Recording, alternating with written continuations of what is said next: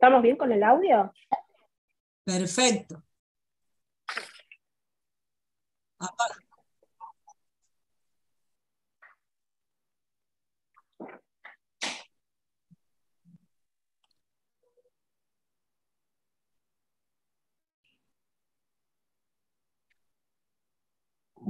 Hola, muy bienvenidos, muy bienvenidas al ciclo Carmen Argibay sobre análisis de fallos del derecho de la vejez.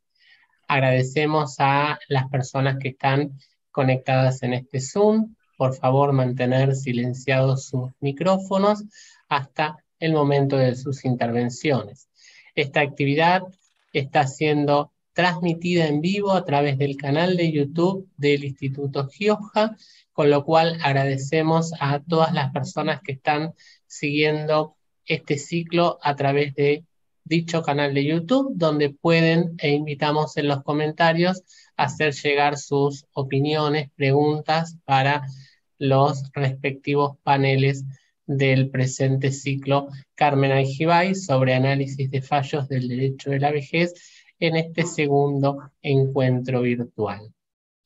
A continuación, vamos a tener la oportunidad de escuchar a Juan Pablo Tevini. Para quienes no lo conocen, a Juan Pablo.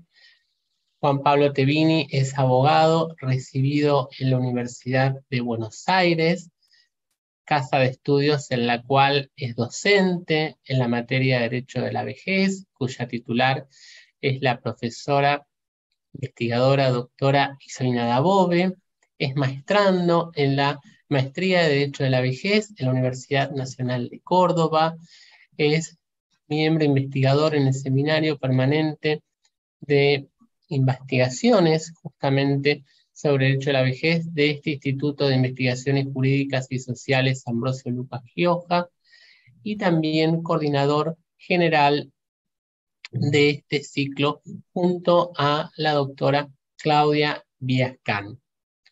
Juan Pablo Tevini, con todo gusto, te escuchamos atentamente. Muchas gracias, Martín. Buenas tardes a todos y a todas. Ante todo y en representación de todo el equipo interdisciplinario que hace posible este encuentro, les agradecemos a los participantes y expositores por compartirnos su tiempo. Les adelanto que la expositora Wanda Gisbert, lamentablemente por razones de índole personal, no va a estar presente hoy con nosotros. En su lugar tendremos el agrado de contar con la presencia de la doctora María del Carmen Fernández, médica especialista en gerontología. Dicho esto, comienzo con el tema que nos convoca. Dentro del contexto mundial, el grupo etario de las personas mayores han registrado las más importantes de las transiciones demográficas. Este fenómeno se reconoce por un marcado descenso de los nacimientos, un descenso de la mortalidad y un incremento de la expectativa de vida la sociedad se encuentra con un incremento de necesidades a satisfacer en este grupo etario. Encontramos actitudes discriminatorias o negligentes en cuanto a la atención sanitaria, económica, social e individual de las personas mayores, y esto revela la vulneración de los derechos de quienes integran este colectivo. Sin dudas, ningún grupo humano debería tener la necesidad de reclamar por sus derechos, porque son inherentes a su condición de ser humano. Sin embargo, fue imprescindible establecer instrumentos que prevengan estas acciones negativas, discriminatorias hacia las personas mayores y promuevan el efectivo cumplimiento de sus derechos. Un instrumento vital es la Convención Interamericana sobre la Protección de los Derechos Humanos de las Personas Mayores, hoy con rango supralegal, como más adelante veremos. Y así, orientándonos eh, al tema que hoy nos trae, los diferentes niveles asistenciales de cuidado de las personas mayores requieren de un exhaustivo análisis para evitar la vulneración de esos derechos y, promover un envejecimiento saludable de acuerdo al momento que la historia de la humanidad viene determinando en las últimas décadas. Este ciclo que titulamos Carmen Argibay sobre análisis de fallo tiene como objetivo ser un instrumento de práctica análisis jurisprudencial, análisis valorativo, sociocultural, normativo, invitando de alguna manera a transitar nuevos paradigmas.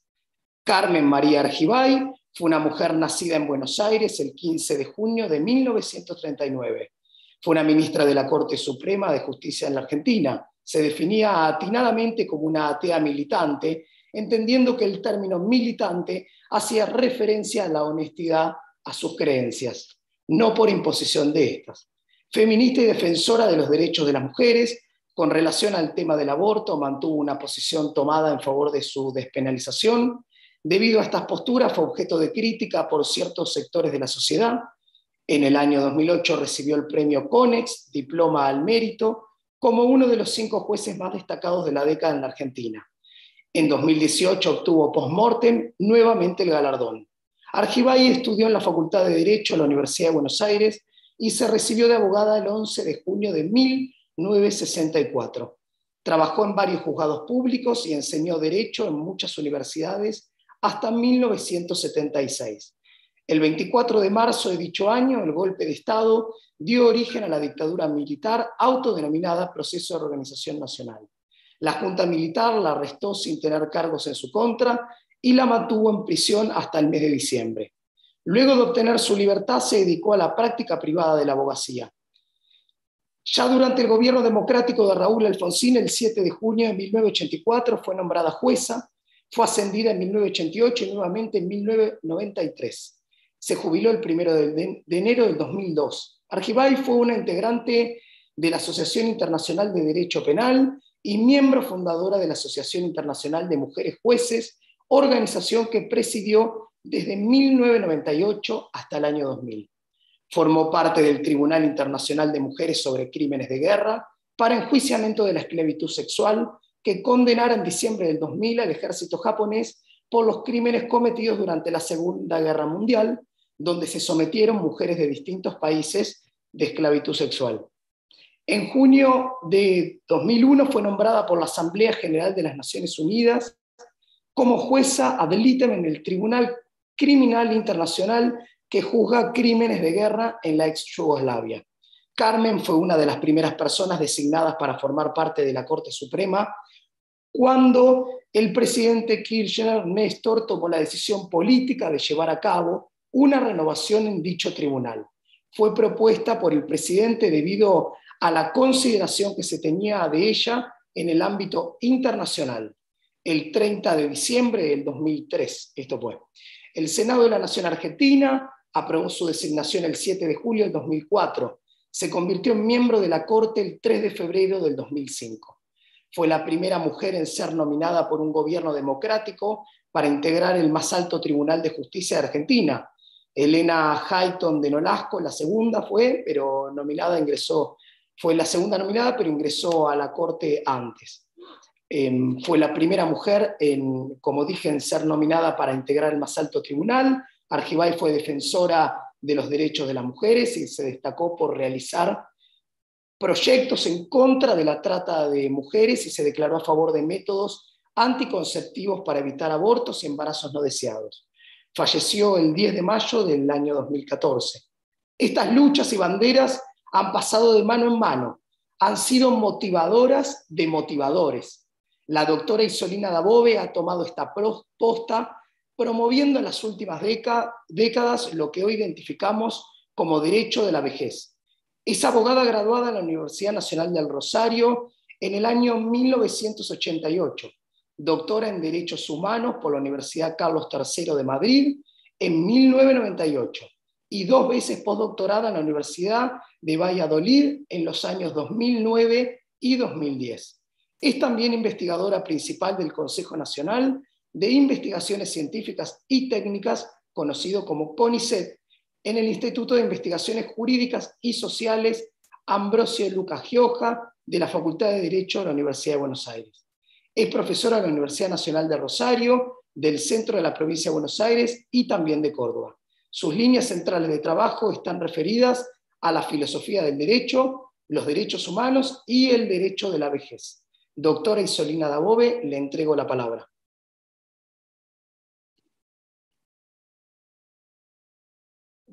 Muchas gracias, eh, querido Juan Pablo. Muy buenas tardes para todas, para todos. Gracias al doctor Martín Testa también por habilitarnos el uso de este espacio en representación del Instituto Gioja, en donde todo el equipo eh, trabajamos eh, diariamente por eh, los derechos de las personas mayores. Y nos alegra muchísimo esta gran convocatoria que esperamos sea fructífera y acorde a lo que todos y todas esperamos en esta tarde.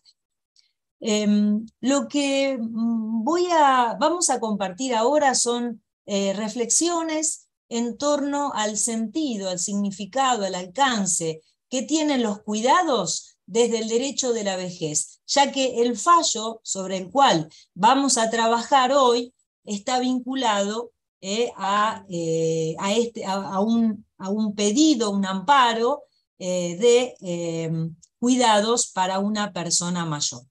Para eso voy a compartir un pequeño PowerPoint a fin de, de hacer la tarea más, eh, más amable. Entonces, eh, léase mi intervención como una exposición que nos sirve para encuadrar el enfoque jurídico de esta temática, los cuidados gerontológicos desde el derecho de la vejez. Como venimos trabajando desde hace más de 30 años, eh, el derecho de la vejez se ha ido organizando conforme al paradigma de los derechos humanos. Por lo tanto, tiene como foco de atención a la persona mayor, teniendo en cuenta en primer término a la persona humana mayor, que es a la cual nos vamos a referir hoy. Por otro lado, siguiendo las enseñanzas de Luis Prieto Sanchís, eh, entendemos que el derecho de la vejez abarca cinco ejes sobre los cuales vamos trabajando. Eh, los derechos subjetivos, los derechos fundamentales vinculados a la autonomía personal, los derechos de participación o de inclusión, eh, los derechos de cuidados en sentido estricto y, por supuesto, no habría eh, posibilidad de tomar en serio a los derechos humanos si no habláramos, como decía Norberto Bobbio, del acceso a la justicia y de las garantías procesales. Eh, la cuestión de los cuidados, a nuestro parecer, desde el derecho de la vejez, abarca estos cinco ejes. Mm, si bien hay un segmento específico. Eh, respecto al cual eh, nos vamos a, a, ubicar y vamos a trabajar en particular, lo cierto es que la problemática, la dimensión humana de los cuidados es también profundamente transversal. Y en esa medida es que eh, debemos eh, leerla y debemos interpretarla. Eh, en primer lugar, cabe señalar que cuando hablamos de cuidados hacemos referencia a personas, en este caso personas humanas que así lo requieren y que están situadas en el lugar de sujetos de derecho, es decir, en el lugar de quien es un fin en sí mismo y tiene habilidad para interactuar con los demás, estableciendo las reglas de juego en esa relación cuya prestación central es la asistencia o cuidados. También atraviesa los derechos de autonomía, ya que los cuidados incluyen una dimensión eh, de autoprotección, que está vinculada con el derecho a disponer del propio cuerpo, que hoy cuenta no solo con normativas eh, constitucionales y eh, convencionales, sino también con una clara apoyatura en el Código Civil y Comercial. Tenemos también desde esta dimensión del autocuidado la posibilidad de dejar asentadas de una manera clara nuestras preferencias y también nuestras decisiones en cuanto a asumir ciertos riesgos en la vida, ¿no? La dignidad del riesgo, como se dice en el campo de la discapacidad. Y para todo ello, desde el derecho de la vejez, profundizamos y trabajamos en las directivas anticipadas y en el uso de los actos de autoprotección, los poderes preventivos, como una herramienta en donde claramente podemos expresar esta práctica del autocuidado.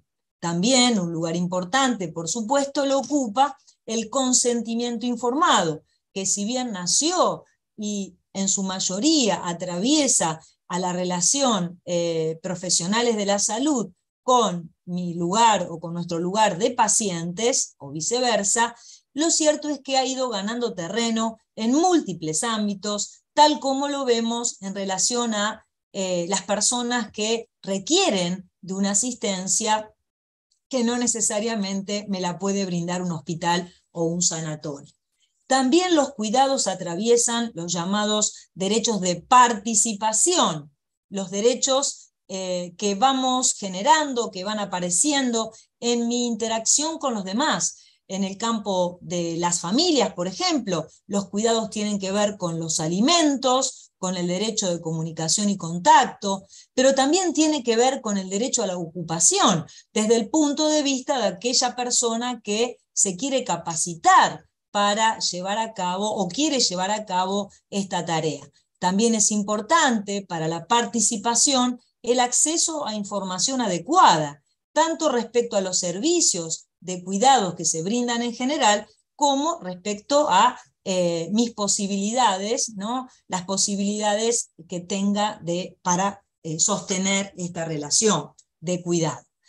También, por supuesto, los cuidados aparecen en primer lugar en esto que hemos denominado derechos de cuidados o asistencia, y es aquí donde desde el derecho de la vejez analizamos los servicios públicos y privados, eh, la oferta del mercado público y privado, permítanme que lo digan estos términos, eh, para poder eh, dar respuestas a esta necesidad que la longevidad actual la gerontoglobalización, este sostenido y creciente fenómeno del envejecimiento que es mundial, eh, hoy nos plantea y debemos responder.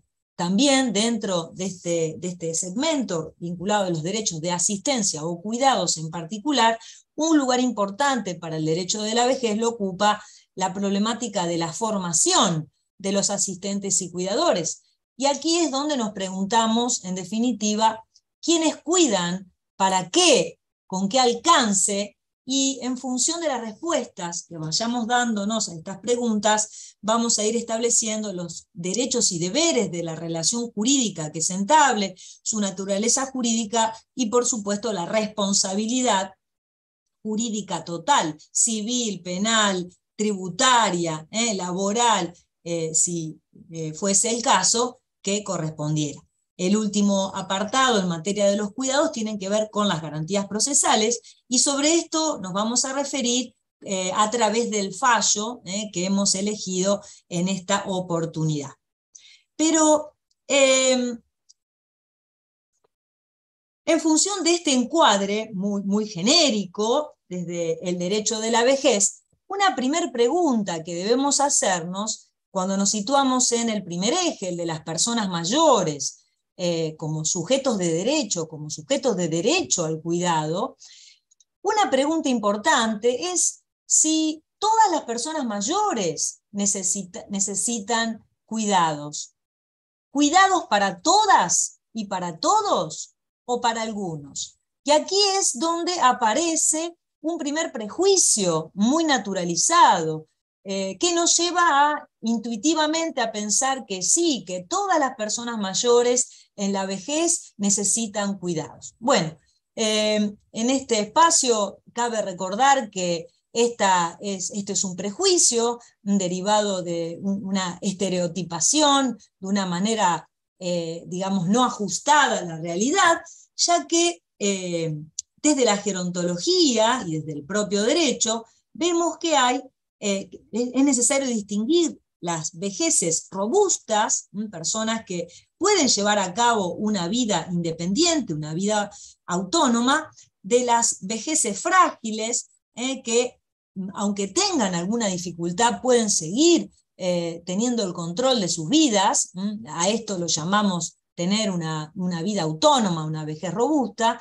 y también, por supuesto, hay situaciones de padecimientos tales que nos colocan en un lugar de dependencia. Cuando hablamos de cuidados, básicamente estamos hablando de este último segmento, de aquellas personas que demandan ayuda para, ya sea actividades de la, básicas de la vida diaria, como lo vemos en este primer cuadro, o bien actividades instrumentales. Las actividades básicas, comer solos, vestirnos solos, poder eh, cuidar de, la casa solos, ¿no?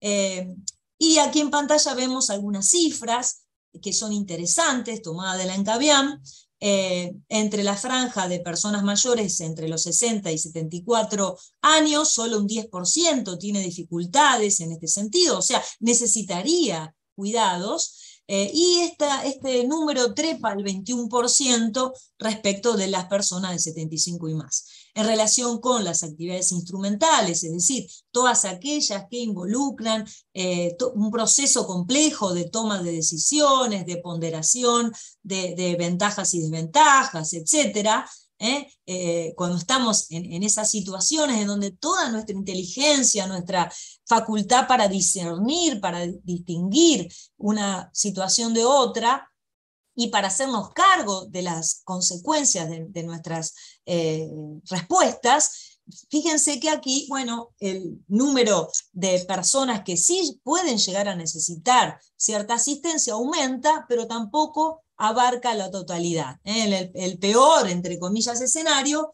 eh, hay, eh, nos acercamos a un 41% de personas mayores de 75 y más, con lo cual hay un 59% de personas mayores que no necesitan cuidados. Entonces, ¿cuidado para todas? No, solo para aquellas que así lo requieran.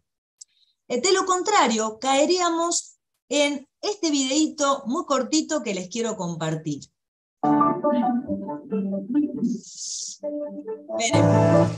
Lo tengo que poner desde el principio.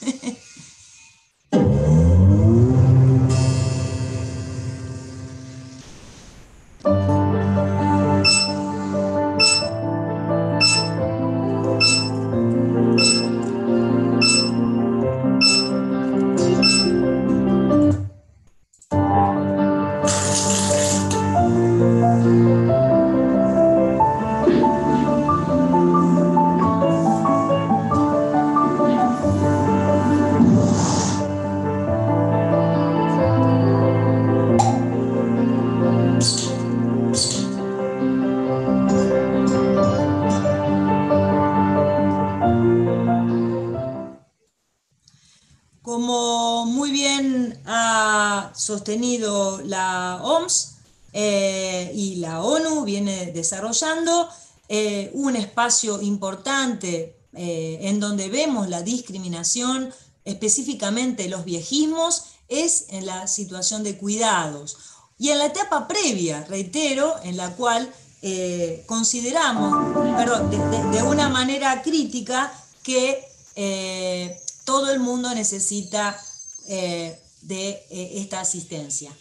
Quiero tratar de pasar, esperen, quiero, se me tildó, voy a dejar de compartir y voy a compartir de nuevo, si me permiten, eh, eh, llegando al, a, ver si puedo pasar de, no sé por qué no me permite ahora pasar. Esperen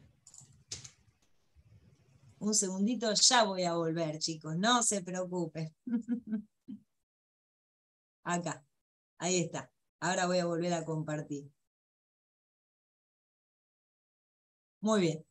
Entonces decíamos que eh, entonces es muy importante en esta, eh, dentro del derecho de la vejez mm, preguntarnos si cuidamos sin discriminación. Y en ese sentido, uy, un, perdón, ya se me, ha, se me ha tildado el, voy de nuevo, voy de nuevo. Esto de usar herramientas sensibles a veces hace que, ahí está, ahí vuelvo. Ténganme paciencia que voy a salir, les va a gustar. Acá, ahí, ahí está.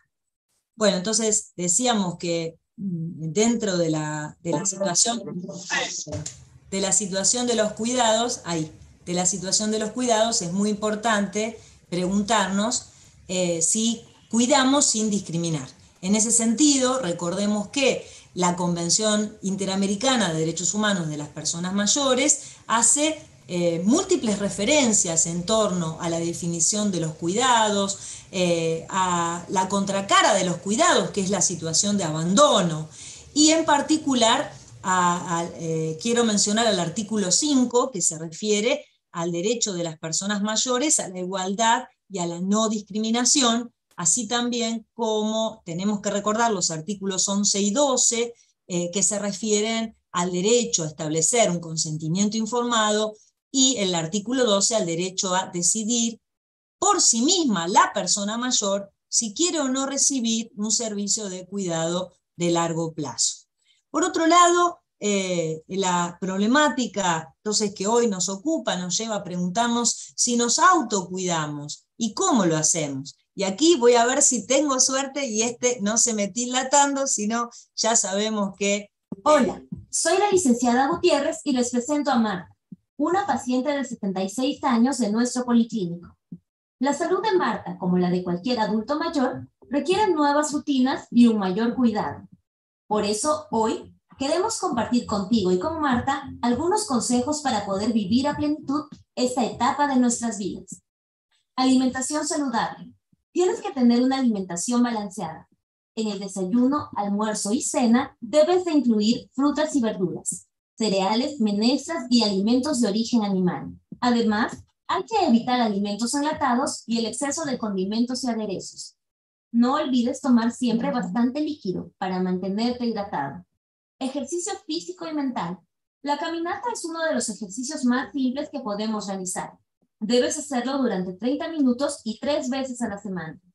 Utiliza zapatos cómodos en todo momento. También puedes colaborar en algunas tareas del hogar que no supongan ningún riesgo para tu salud. Recuerda que hacer ejercicio mantendrá tu corazón y músculos en buenas condiciones. Del mismo modo, dedica tu tiempo libre para aprender nuevas habilidades y realiza ejercicios que estimulen tu mente. Así estarás siempre activo. Dormir mejor. Procura respetar tu horario para dormir y levantar. Mantén tu dormitorio oscuro y libre de ruidos. Asimismo, haz fiestas no mayores de 30 minutos durante el día y evita tomar bebidas que contengan cafeína como té o café. Cuidado de la piel. A la hora de bañarte, procura usar un jabón neutro o de glicerina. Enjuágate con agua tibia y seca bien todas las partes de tu cuerpo. Es recomendable usar cremas hidratantes y protector solar, sobre todo si te vas a exponer al sol. Y si detectas cualquier anomalía en tu piel, no dudes en consultar con tu médico. Enfermedades crónicas. Para prevenir enfermedades como la diabetes o hipertensión, evita estar quieto. Hazte controles periódicos de azúcar, colesterol y presión arterial. Vigila tu peso y evita el consumo de alcohol y cigarros. Nunca olvides asistir a las citas programadas con tu médico de cabecera. Recuerda que puedes llevar una vida saludable y disfrutar de una buena calidad de vida si sigues todos estos consejos. Bueno, como ven, ahora voy a dejar de compartir para volver a compartir eh, eh, y avanzar en la, en la presentación. Ahí. Ah, Ahí está.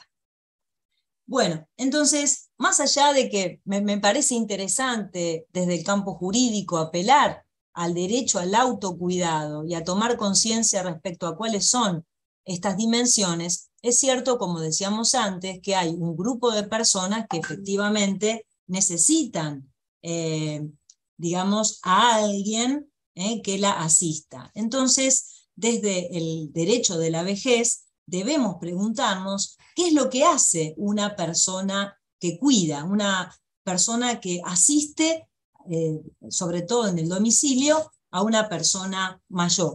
En este sentido, ahora quiero compartirles también un pequeñísimo video que después podemos comentar a lo largo del espacio de, esta tarde, podemos volver a, estos, a estas herramientas, a ver qué les parece, pero en este caso es un video eh, elaborado por la, la, DINAPAM, la Dirección Nacional de Políticas para Adultos Mayores, quienes hace y casi 20 años que han puesto en marcha un programa enorme de capacitación a eh, asistentes gerontológicos y que además eh, replica programas de formación de asistentes gerontológicos muy anteriores, como es el que implementó la AMIA hace casi 30 años, o el Hospital Alemán, o el ISALUD, y también el gobierno de la ciudad de Buenos Aires. Sin embargo, aquí me parece muy interesante el enfoque que se le da desde la DINAPAM a esta tarea, porque nos permite pensar jurídicamente en los derechos y deberes que le asisten a las partes en esta relación. El cuidador domiciliario es un actor formado para brindar el apoyo necesario a la persona mayor en las actividades de la vida diaria. Se trata de un nuevo rol con perfil específico. Un cuidador domiciliario no realiza servicios domésticos, no se ha formado para ofrecer servicios de enfermería ni tampoco de atención o acompañamiento psicológico. Un cuidador domiciliario ve el envejecimiento como un proceso y se forma para llevar adelante cuidados progresivos hacia las personas mayores, evitando su institucionalización. ¿Y cuáles son las tareas del cuidador? Bueno, acompañamiento y asesoramiento en todas las actividades de la vida diaria, administración de medicamentos por vía oral y de uso externo, indicados y prescriptos por profesionales, preparación de alimentos e ingesta asistida, higiene y arreglo personal y del hábitat, acciones preventivas de accidentes, actividades recreativas y ocupacionales acorde a sus posibilidades, colaboración en las prácticas indicadas por el profesional, difusión de acciones de promoción de la salud y reinserción social. Las personas mayores son sujetos de derechos y los cuidadores domiciliarios realizan sus tareas respetando la dignidad de las personas que demandan sus servicios. Eso implica un desempeño ético de su rol. Los cuidadores domiciliarios acompañan desde una ética de los cuidados para las personas mayores.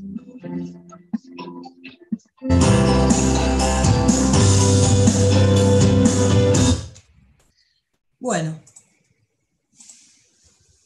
eh, desde este espacio y acompañados con estos videos que nos estimulan los sentidos, no solo la, inteligencia, eh, creo que eh, podemos pensar múltiples aristas para esta relación de cuidados que no siempre las personas mayores demandan, pero cuando así lo hacen, nos colocan desde el campo jurídico ante un desafío de gran responsabilidad eh, social, eh, valorativa y normativa, ya que hoy contamos con eh, estándares internacionales que pueden servirnos para cubrir los vacíos legislativos que hoy atraviesan este campo en el derecho argentino y latinoamericano. Hay muy pocos países que cuentan con una ley que regula esta tarea. Una de ellas es España, con la llamada, mal llamada ley de dependencia, de promoción de la autonomía de las personas en situación de dependencia, y el otro caso es Uruguay.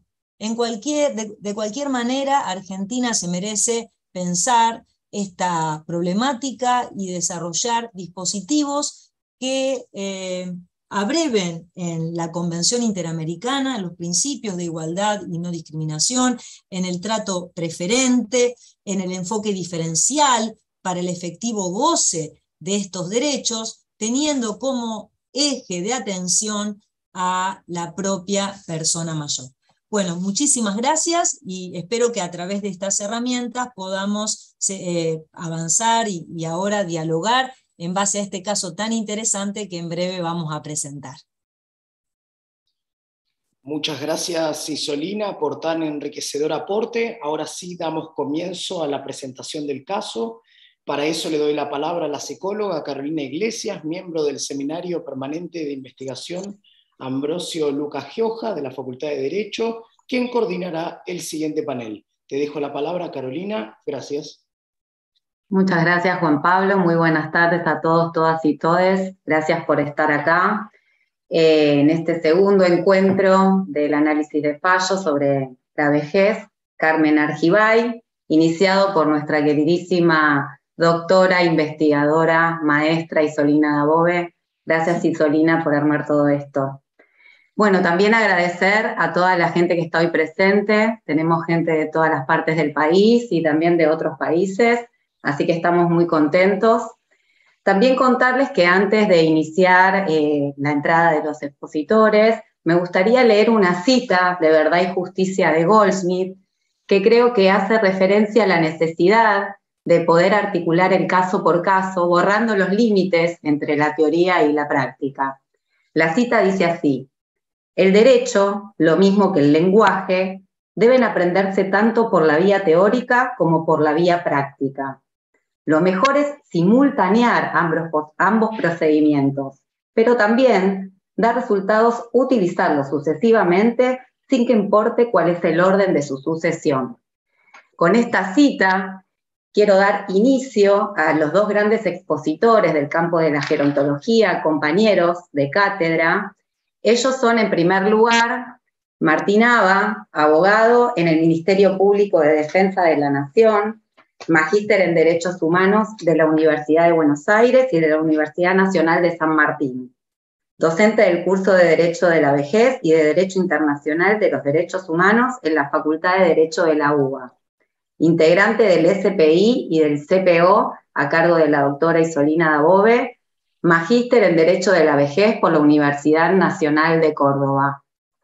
En segundo lugar, le vamos a dar la palabra a Claudia Villascán Castillo, abogada, magíster en propiedad intelectual, especialista en gerontología social, asistente gerontológico, integrante del Seminario Permanente de Investigación y del ciclo profesional orientado de la carrera de abogacía de la Universidad de Derecho de la Facultad de Buenos Aires.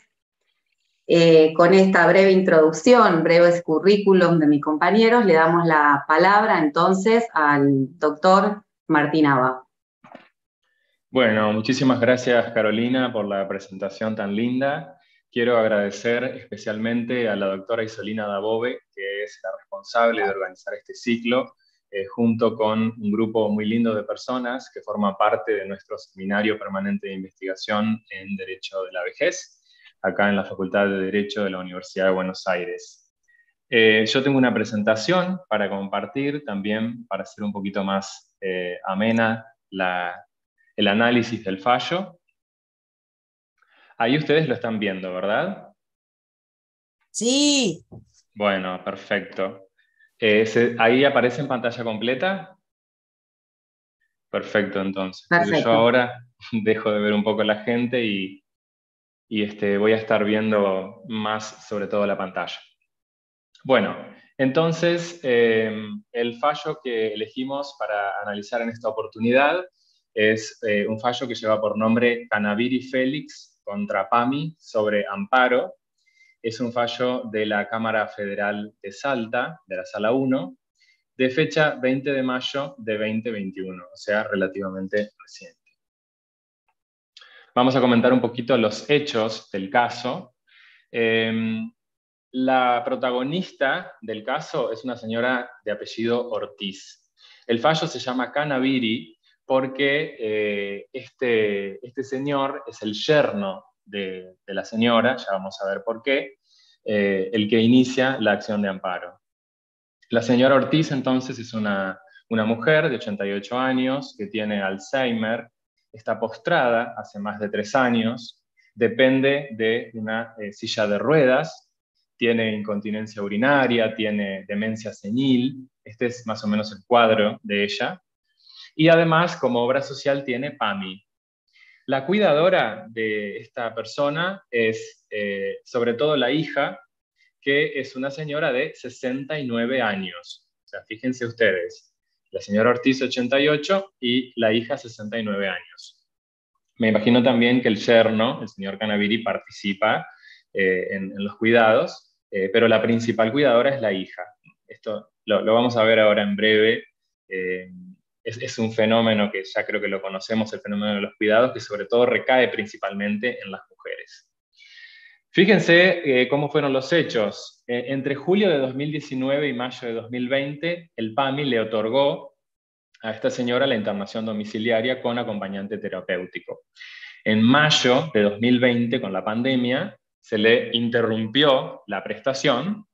¿Y qué pasó acá? Que la hija se vio que tenía que cuidar a la madre sola las 24 horas del día, una señora de 60 años, 69 años, casi 70, y obviamente todas las personas que hemos tenido que eh, desarrollar esta tarea de cuidado de una persona, de otra persona, sea mayor o no, sabemos que es una actividad eh, muy exigente, muy exigida, eh, y que muchas veces requiere o, nos exige que tengamos alguna ayuda.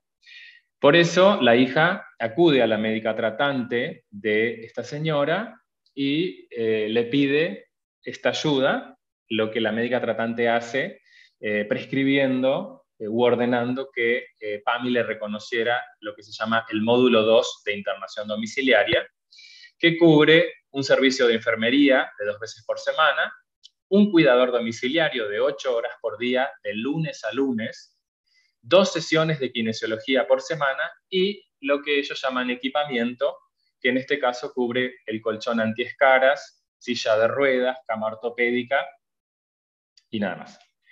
Fíjense qué pasa. En enero de 2021, el PAMI autoriza alguna de estas prestaciones, que son las que yo marqué ahí con un tic en blanco. Básicamente, el eh, servicio de enfermería y las sesiones de kinesiología, pero no autoriza el cuidador domiciliario y tampoco el equipamiento que se había solicitado. A raíz de esto, entonces, se inicia la acción de amparo. Vamos a ver qué pasa en primera instancia. La primera instancia hace lugar a la acción de amparo, ordena al PAMI a que autorice la provisión de estos eh, dos servicios que no se habían otorgado, que eran el cuidador domiciliario y el equipamiento, y dice que las obras sociales tienen el deber de garantizar mediante acciones positivas el derecho a la salud de sus afiliados proveer prestaciones igualitarias, integrales y humanizadas, tendientes a la promoción, protección, recuperación y rehabilitación de la salud. Bueno, y además dice que esto se funda en eh, una resolución, que es la resolución 201 de 2002 del Ministerio de Salud. Estoy escuchando un micrófono abierto. No sé si lo podemos... Ahí está, perfecto. Bueno, entonces, primera instancia, hace lugar a la acción de amparo. ¿Qué hace PAMI? PAMI apela. ¿Y cuáles son los agravios que em, presenta PAMI en su escrito de apelación? El PAMI dice primero que nunca dejó en desamparo a la señora Ortiz, porque la señora Ortiz en efecto recibía otras prestaciones médicas y sociales. Entre ellas ya tenía un servicio de internación domiciliaria y en cuanto al cuidador domiciliario, dice que no se había presentado una justificación médica que fundamentara este pedido.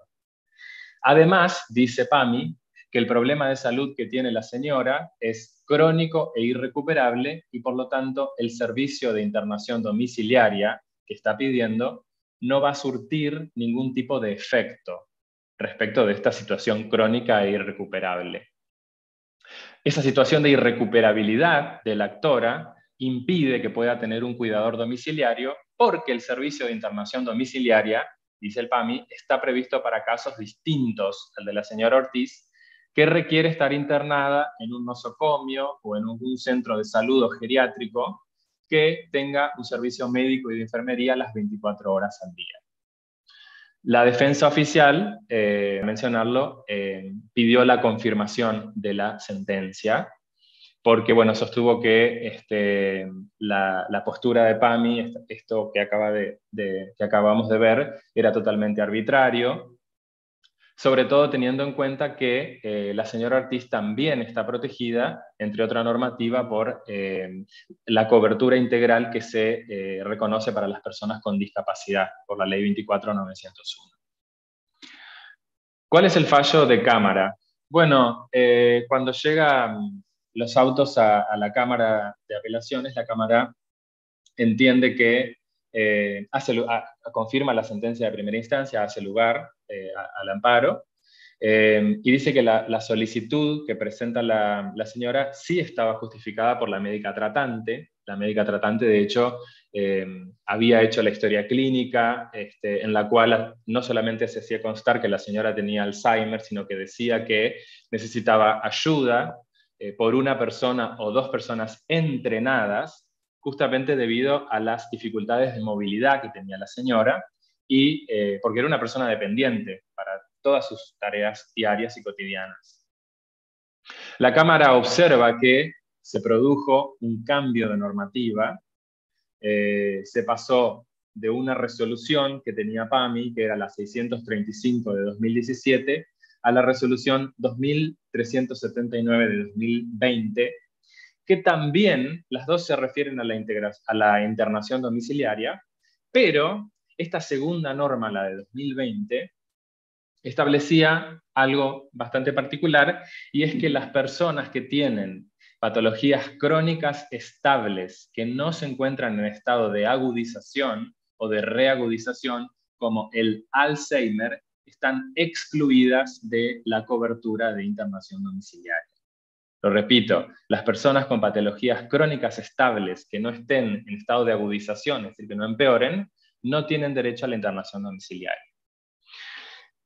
¿Qué dice la Cámara? Obviamente se pronuncia en contra de esto, dice que no se puede sostener que porque una persona tenga una patología crónica e irrecuperable pueda estar o quedar impedida de acceder al servicio de internación domiciliaria con un cuidador domiciliario, porque esto implica afirmar que cuando la persona llega a cierta edad avanzada y tiene problemas de salud o tiene enfermedades crónicas, entonces esas personas inevitablemente van a, verse privadas de servicios de cuidados o de cuidados paliativos por no tener posibilidades de recuperación. Y esto, dice la Cámara expresamente, es contrario a lo que establece la Convención Interamericana eh, sobre la protección de los derechos humanos de las personas mayores, que lo vamos a ver ahora, y al concepto de persona que surge de la Constitución Nacional. Dice, implica una noción estamental o accidental de ser humano. ¿Por qué? Porque se pone el acento en la posibilidad de recuperación o de sobrevida. Es decir, si la persona tiene posibilidades de recuperación, va a tener acceso a la internación domiciliaria con el cuidador. Pero si no, no lo va a tener. Esto se opone, dice eh, la Cámara, a una noción sustancial, sustantiva del ser humano que ponga el acento en la dignidad de la persona y en el acceso de todas las personas a los tratamientos sanitarios que le correspondan. También eh, menciona la Cámara que esta resolución que yo acabo de mencionar de 2020, si bien establece esto que, obviamente lo, acaba de objetar la Cámara, sí hace referencia a algo positivo y es que eh, el grupo familiar o la red de apoyo de las personas mayores deben participar en la provisión de los cuidados. Es casi un requisito eh, es casi un objetivo de la, reglamentación, fomentar eso, ¿no? fomentar la participación de la familia. Y en este caso se estaba dando, claramente, porque la persona, fíjense, esta señora se quedó sin la cobertura de la internación domiciliaria durante un tiempo por la pandemia y la hija de 69 años estaba ejerciendo los cuidados. Por otro lado, dice la Cámara, la obligación que tiene la obra social, es decir, el PAMI, no puede limitarse a eh, la negativa y nada más. No puede limitarse a, una, a, un rechazo así nomás, sino que el PAMI, es decir, la obra social del Estado, tiene la obligación de poner en marcha todo su aparato burocrático para poner a disposición de los afiliados y de sus familias toda aquella información que necesiten para poder realizar los trámites pertinentes para poder acceder a aquello que la obra social no le puede proveer. Y yo, esto sería el fallo, ¿no? Es, un amparo, es un amparo corto, este, y yo me, puse, me propuse pensar a raíz de esto que, que leímos o que vimos, algunas reflexiones. Por un lado, cómo ejercemos la defensa técnica, los abogados y las abogadas, eh, y también, porque lo, voy a conectar a estas dos cosas, cómo se legisla. Fíjense que acá estaba involucrada una eh, resolución de PAMI que se refería a la internación domiciliaria, es decir, un organismo que de alguna manera ejerce un poder legisferante, es decir, crea normas. Entonces, quiero conectar estas dos cosas, cómo tenemos que ejercer la defensa y cómo tiene que el Estado crear normas. Debe hacerlo por, por toda la normativa que nosotros tenemos con base constitucional, con lo que llamamos un enfoque de derechos humanos o un enfoque de derechos, y sobre todo con una perspectiva de vejez. ¿Qué es esto del enfoque de derechos humanos? Significa que el accionar del Estado tiene que tener como punto de partida, como orientación y como meta todo el corpus de principios y derechos y estándares de derechos humanos que forman parte de nuestro ordenamiento jurídico, algunos de los cuales tienen jerarquía constitucional y que son obligatorios para todos los organismos del Estado, para todos los poderes del Estado, ejecutivo, legislativo, judicial, ministerio público, para todos. Este concepto de enfoque justamente remite a la idea de un prisma, una lente, un abordaje, una metodología de carácter transversal que se refiere a todo el accionar del Estado, a todos los órganos y organismos eh, que son públicos, también eh, para, para los privados, pero principalmente para el Estado. Entonces se tiene que tener en cuenta para formular leyes, para diseñar, para implementar políticas públicas, para dictar actos administrativos, como es el caso de esta resolución, establece la internación domiciliaria, para emitir sentencias judiciales y, sobre todo, para cualquier decisión que provenga del Estado. Y lo pienso yo desde el punto de vista de la defensa técnica que ejercemos los abogados, ya sea desde el Estado o de manera particular, ¿Por qué? Porque es entendible que una persona o particular o, una empresa se pueda oponer a reconocer ciertas prestaciones, por ejemplo, una empresa de medicina prepaga, porque tiene un fin de lucro, tiene un interés concreto para resguardar. Pero el Estado no se puede oponer, porque tiene el deber de garantizar los derechos humanos y el interés público. Y el interés público es proteger a los grupos vulnerables, como es el caso de las personas mayores. Entonces, en casos como este, el Estado no tendría que buscar artilugios para tratar de escapar a sus obligaciones, sino tomar en cuenta la solicitud que le está formulando, en este caso, el afiliado, y actuar en consecuencia. Porque el interés público también consiste en desarrollar medidas de acción positiva, como dice la Constitución, que compensen las desigualdades estructurales, históricas, que padecen ciertos grupos vulnerables. Y defender al Estado también es defender ese rol institucional que tiene el Estado de proteger a los grupos más vulnerables.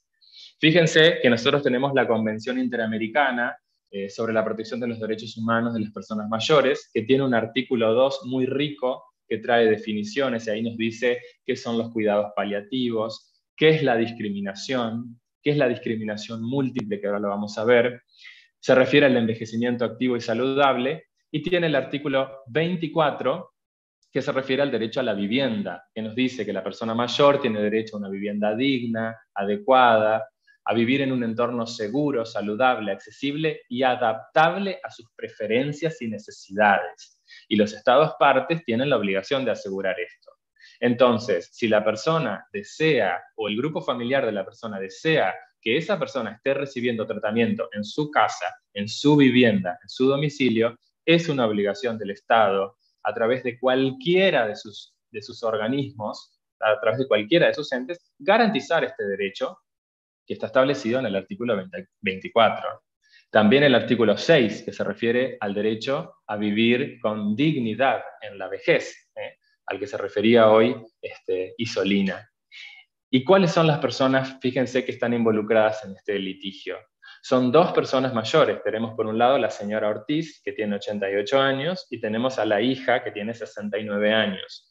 Este es un fenómeno que nosotros lo vemos, lo analizamos, que es el fenómeno del envejecimiento intergeneracional. Es decir, cuando tenemos a dos eh, generaciones envejecidas, dos generaciones de personas mayores conviviendo eh, en este caso bajo un mismo techo. fíjense que garantizar lo, que, lo que pide la cuidadora también es proteger uno de los derechos, un derecho de una persona mayor que se refiere a su autonomía, a su dignidad. Y también tenemos el derecho a, la, no discriminación, el principio de igualdad, que es un principio básico, transversal en materia de derechos humanos y que tiene una relevancia excepcional cuando hablamos de personas mayores. Este, este principio de igualdad o de no discriminación tiene amplio reconocimiento eh, jurisprudencial, no solamente en Argentina, sino también en nuestro sistema interamericano. La Corte Interamericana, por ejemplo, ha dicho que eh, la noción de igualdad se desprende de la naturaleza humana, que es inseparable de la dignidad de la persona, y eh, se opone eh, a la noción de igualdad cualquier accionar del Estado que pretenda desconocer a un grupo de personas lo que se reconoce a otras. Fíjense en este caso lo, que, lo que pretendía PAMI hacer con esta persona. Le quería desconocer el derecho a recibir una internación domiciliaria con un cuidador porque la señora tenía una enfermedad crónica e irrecuperable. Fíjense eh, cómo se conecta esto con el tema de la discriminación interseccional o múltiple. Acá tenemos una, señora que es, una mujer, es una persona mayor y además es una persona con discapacidad, que a esto hace referencia la defensa pública. Eh, fíjense cómo esta persona, por estar atravesada por estas distintas eh, situaciones, va a quedar en una situación peor que otra persona que no tenga estas, estas, estas situaciones, porque no se le va a permitir quedarse en su casa para eh, quizás vivir los últimos años de su vida en su vivienda como tiene derecho a hacer. Bueno, no me quiero eh, exceder de tiempo y ahora le paso este, el, el micrófono a Claudia, si está por ahí. Aquí estoy. Bueno, yo voy a tratar de dejar de compartir pantalla. Ahí está. Como dirían en la tele, los tiempos de la tele son, son rigurosos, así que vamos a apurarnos un poco porque nos queda poco tiempo. Eh, yo les hablo desde, desde lo que aprendí como asistente gerontológico. Primero vamos a referirnos un poco al fallo del que nos acaba de hablar Martín, y como Martín nos hablaba en este fallo, partimos de que en Argentina, así como en el resto del mundo, el alargamiento de la esperanza de vida de las personas puede ocasionar, además de deterioros en la salud y en la vida de la propia persona que padece la enfermedad o la discapacidad o cualquier padecimiento, el desgaste que ocasiona en las familias. Además de los costos, el desgaste, además del, desgaste familiar, del, desgaste en la vida, los costos que se implica. Eh, y obviamente muchas veces vulneración de derechos. Como ya nos dijeron Isolina y nos, dijeron, y nos dijo Martín, de acuerdo con la Convención Interamericana sobre la protección de los derechos humanos de las personas mayores, y cito todo el título para que nos la aprendamos, este tiene que ser como nuestra Biblia. Tenemos que saber el nombre del instrumento al que debemos proteger y abocarnos para defender los derechos de las personas eh, con las cuales trabajamos y en las cuales nos vamos a convertir. Bueno, esta convención nos dice que la persona mayor tiene derecho a un sistema integral de cuidados. Dice sistema integral de cuidados que provea no solo eh, cuestiones de salud, se, se prevé un sistema de, cuidados integral, la, la salud, lo social y lo psico. Habla entonces de un sistema integral de cuidados que provea protección, promoción de la salud, de cobertura de servicios sociales, seguridad alimentaria y nutricional, agua, vestuario, vivienda, y que promueva, eh, habla todos estos derechos, siempre con un enfoque de protección de derechos de la persona mayor, defendiendo su independencia, su autonomía. Este, este, este instrumento establece como uno de sus principios la responsabilidad del Estado, fíjense, responsabilidad del Estado y participación de la familia y de la comunidad para este sistema integral de cuidados de la persona de la persona mayor. Como vimos en el caso de la señora Nicolasa, los apoyos tradicionales que hemos venido prestando a lo largo de la vida como familias o como comunidades, hoy por hoy, con esta esperanza de vida que tenemos las personas, parecería que son insuficientes o que insuficientes no solo porque no alcancen, sino resultan a veces eh, carentes de, por ejemplo, hablando de asistentes gerontológicos, carentes de preparación, porque un asistente gerontológico no va a, a sostener a la persona mayor que cuide de la misma manera que la sostendría una hija, porque, por ejemplo, en el caso de la señora Nicolasa, la hija tiene 69 años. ¿Cómo puede una persona que ya es una persona mayor sostener en brazos a otra persona mayor para llevarla a tomar un baño, o para llevarla al baño, o para cambiarle pañales, o para darle la asistencia que requiere? Bueno, entonces esta deficiencia que hay hoy por hoy en los cuidados que las familias podemos prestar nos obliga a repensar este sistema integral de cuidados que tiene obligación el Estado de alguna manera de proveer. Como dijimos antes, el desarrollo de los programas de, los programas de cuidados de larga duración eh, debe ser una política pública. Entonces, Martín, en su última diapositiva, yo me estoy adelantando un poco porque yo me preguntaba cuáles son las medidas que debe tener un Estado para proveer de esto a, a los habitantes, a los residentes. Bueno, Martín nos, nos dio algunos ejemplos, por ejemplo, leyes, disposiciones, sentencias, políticas públicas. Bueno, el sistema integral de cuidados debe ser esto, una política pública que nos, que nos preocupe a todos, que nos eh, convoque a todos a seguir trabajando sobre el bienestar y los derechos de las personas mayores. Hoy por hoy, parecería que el ingreso precoz a las residencias de larga estadía es la, la solución o la solución más viable. Eh, las familias están tan desprovistas de recursos y de herramientas que ingresar a la persona mayor que requiere cuidados se soluciona con una institución de larga estadía. No es la única solución, es una solución que tampoco debe, debe asustarnos, es una buena solución porque como también dijo Martín, la convención, cuando habla de la seguridad y del respeto de los derechos humanos de las personas mayores y del sistema integral de cuidados, lo hace en torno a su, a su casa. Pero debemos, debemos hablar de envejecer en casa como un, un concepto global. Envejecer en casa puede también significar envejecer en una institución de larga estadía, en donde también se deben proveer todos los servicios y cuidados sociales a los que nos estamos refiriendo en esta charla. O sea, no solo en casa o en casa del hijo o en casa del yerno, también en una, residencia de en una residencia de larga estadía estamos obligados a buscar que las personas mayores que requieran estos cuidados los reciban.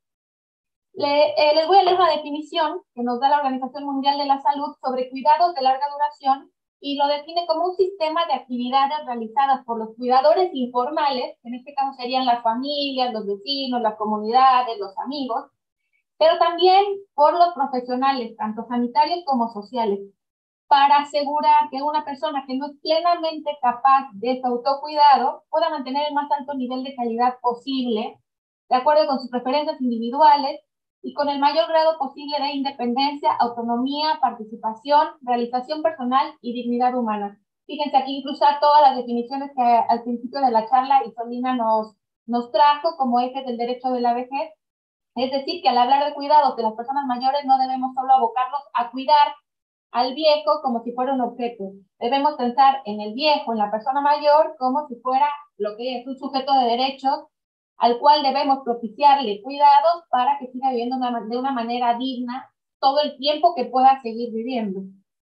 La convención no habla de cuidados de larga duración, habla de servicios sociosanitarios integrados y lo define más o menos parecido y nos dice que son beneficios y prestaciones institucionales para responder a las necesidades de tipo sanitario y social de la persona mayor, con el objetivo, otra vez, de garantizar su dignidad y bienestar y promover su independencia y autonomía. Entonces, podemos tener una primera conclusión, que los, los cuidados de larga duración no solo son respecto de la salud, sino que deben ser servicios con un enfoque sociosanitario, es decir, que provean atención sanitaria y servicios de asistencia social. Obviamente, y también ya lo comentó Martín, estos, estos cuidados deben adoptar un enfoque de género, porque así como hemos hablado en diversas charlas y durante esta misma, de que existen diversos tipos de vejeces, también debemos tener claro que las mujeres envejecemos distinto que los hombres y las mujeres vivimos más y padecemos más nuestra vejez porque llegamos a más viejas y con más problemas de salud. Así que el enfoque importante que deben tener los servicios sociosanitarios que se le presta a la persona mayor deben ser de género, distinguiendo esto, diversas vejeces y diferencias entre vejez del hombre y vejez de la mujer. En concordancia con todo lo anterior que hemos visto y, como también lo mencionó Martín, es consenso internacional envejecer en casa. Pero recuerden lo que les dije, envejecer en casa no significa solo en nuestro hogar. Puede ser envejecer en casa de un hijo, en casa de invierno, pero también en una institución de larga estadía, en donde los cuidados de larga duración también deben proveerse. De acuerdo con el artículo 12 de la Convención, y de nuevo vamos con el título para que no se les olvide, Convención Interamericana de Protección de los Derechos Humanos de las Personas Mayores, el Estado argentino debe establecer un marco regulatorio adecuado para el funcionamiento de estos servicios. Eh, en el fallo nos hablaban de, un, de unos cuidados a largo plazo sin límite de tiempo. Eso es lo que debemos buscar, que cuando se haga este marco regulatorio, los servicios sean de larga duración, entendiendo por servicios de larga duración no solamente el acompañamiento durante la enfermedad o el cuidado durante la enfermedad, también debemos incluir en estos servicios los cuidados paliativos hasta el final de nuestros días, hasta que nos llegue la muerte. Un estudio que realizó la Fundación Navarro Viola con la, con la Fundación SIDOM en 2019, además de ser algo ya estudiado por, por nosotros, por el CPI, por Isolina, nos dicen que no hay un marco regulatorio en Argentina, de hecho Solina lo dijo al principio de la charla, no hay un marco integral nacional que garantice la igualdad en el acceso a estos servicios, a los cuidados domiciliarios. Por lo tanto, debería ser de nueva cuenta una política pública del Estado argentino propiciar que todos los, todas las personas que estamos en este territorio tengamos acceso a, esta, a este derecho. En el caso, Martín nos habló del plano obligatorio médico. El plano obligatorio médico, como les, les decía, plano médico obligatorio es el nombre de la, de la disposición, eh, tiene como unos objetivos y resulta, iba a decir gracioso, es una palabra poco profesional, pero aplica, resulta gracioso que uno de los principios de este plan médico obligatorio diga que se debe privilegiar la preservación de la salud antes de las acciones curativas. Me parece que todo el sistema de salud, hablo hoy de Argentina, yo soy mexicana, pero hoy hablo hoy de Argentina porque vivo en Argentina. Y me parece que todos los servicios, o parecería que los servicios de salud, antes de querer las obras sociales, las que pagas, proveerlos para mantenernos la salud, parecería que debemos llegar muriéndonos al, a la solicitud para que seamos atendidos. El plan, el, el sistema de, de, de cuidados debería tener como objetivo preservar la salud, cuidar la salud antes de estar padeciendo las enfermedades. En el caso de, en el caso que nos leyó, en el caso que estamos analizando, a lo mejor si se previera la asistencia gerontológica oportunamente, la señora que cuida, la hija de, Nicol, de Nicasia, no estaría con la posibilidad de tener, tener, riesgos en su propia salud por estar cuidando a la madre. Eh, un poco más ya desde la práctica, si separamos del caso, eh, ¿qué pasa en la práctica? ¿Quién cubre la prestación? ¿Qué pasa con las personas mayores que no tienen ni obra social ni prepaga? ¿El Estado se hace verdaderamente responsable de estos cuidados? ¿Hasta dónde llega el Estado con esta responsabilidad? Existen residencias de larga estadía que son del Estado a las cuales se puede acceder y con estos principios internacionales que hemos visto parecería que el Estado debe cumplir con el proveer servicios de larga duración que eh, protejan los derechos humanos de las personas mayores y les permitan vivir digna, independiente y de manera autónoma hasta el final de sus días. Pero les dejo la duda de pensar hasta dónde llega el Estado con su responsabilidad respecto de este derecho. ¿Y qué pasa con las personas mayores que sí tienen obra social o prepaga, como es el caso de la de nuestra señora Nicolasa, de la señora Nicolasa, que sí tiene prepaga, pero ¿hasta dónde se le puede exigir? El plan médico obligatorio dice que se cumple, que se, que se responsabilizan por el 100%, se asegura el 100% de la cobertura. Pero como vimos, algo tan básico, y a mí me parece básico porque como les dijo Carolina cuando leyó mi, presenta, mi, mi pequeña bio, yo soy asistente gerontológico y me parece que algo básico para un sistema integral de cuidado es la asistencia, el cuidado, el trabajo de un asistente gerontológico capacitado. Porque por más que una persona eh, que trabaja con nosotros, refiriéndome a las personas que nos ayudan con las tareas del hogar, quiera mucho a una de las personas mayores que vivan en casa, nunca va a poder cuidar de la manera que cuidaría un asistente gerontológico capacitado que ha tenido la preparación y la capacitación durante un, al menos por unos meses, para poder cuidar a esta persona mayor. No les voy a hablar mucho de los asistentes gerontológicos porque en un ratito Viviana, experta en el tema, nos va a ahondar más.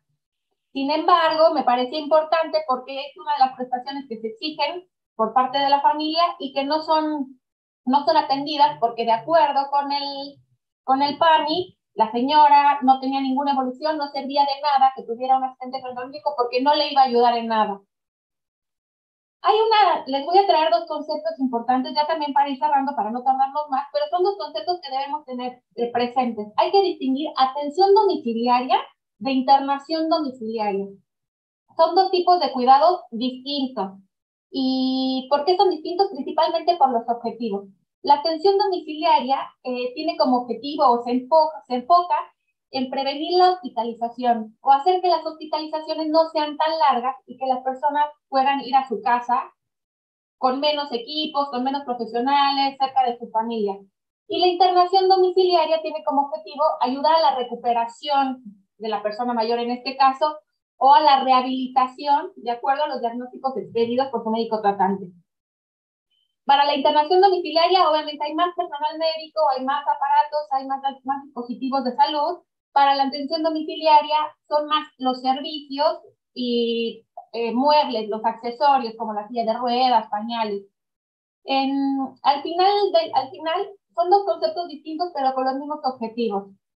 Tratar de que las personas envejezcan en casa o que envejezcan donde quieran, pero de manera digna, cuidando todos sus derechos, que, sean, que puedan seguir ejerciendo su autonomía, que puedan seguir siendo independientes hasta que puedan seguir siendo independientes y que envejezcan en casa. Que envejezcan en casa, ¿por qué? Porque somos seres humanos, somos de naturaleza social y no va a haber ningún lugar mejor en el que nos recuperemos de forma más rápida a todas las enfermedades y padecimientos que tengamos que cerca de aquellos que nos quieren, que cerca de los que nos acompañan, que cerca de los que nos conocen, porque recuerden que siempre debemos pensar en la vejez y en el viejo con una historia de vida. Cada quien tiene una forma de envejecer porque viene acompañado de su ruta, de su ruta de vida, de, su, de lo que le pasó, de lo que le va a pasar.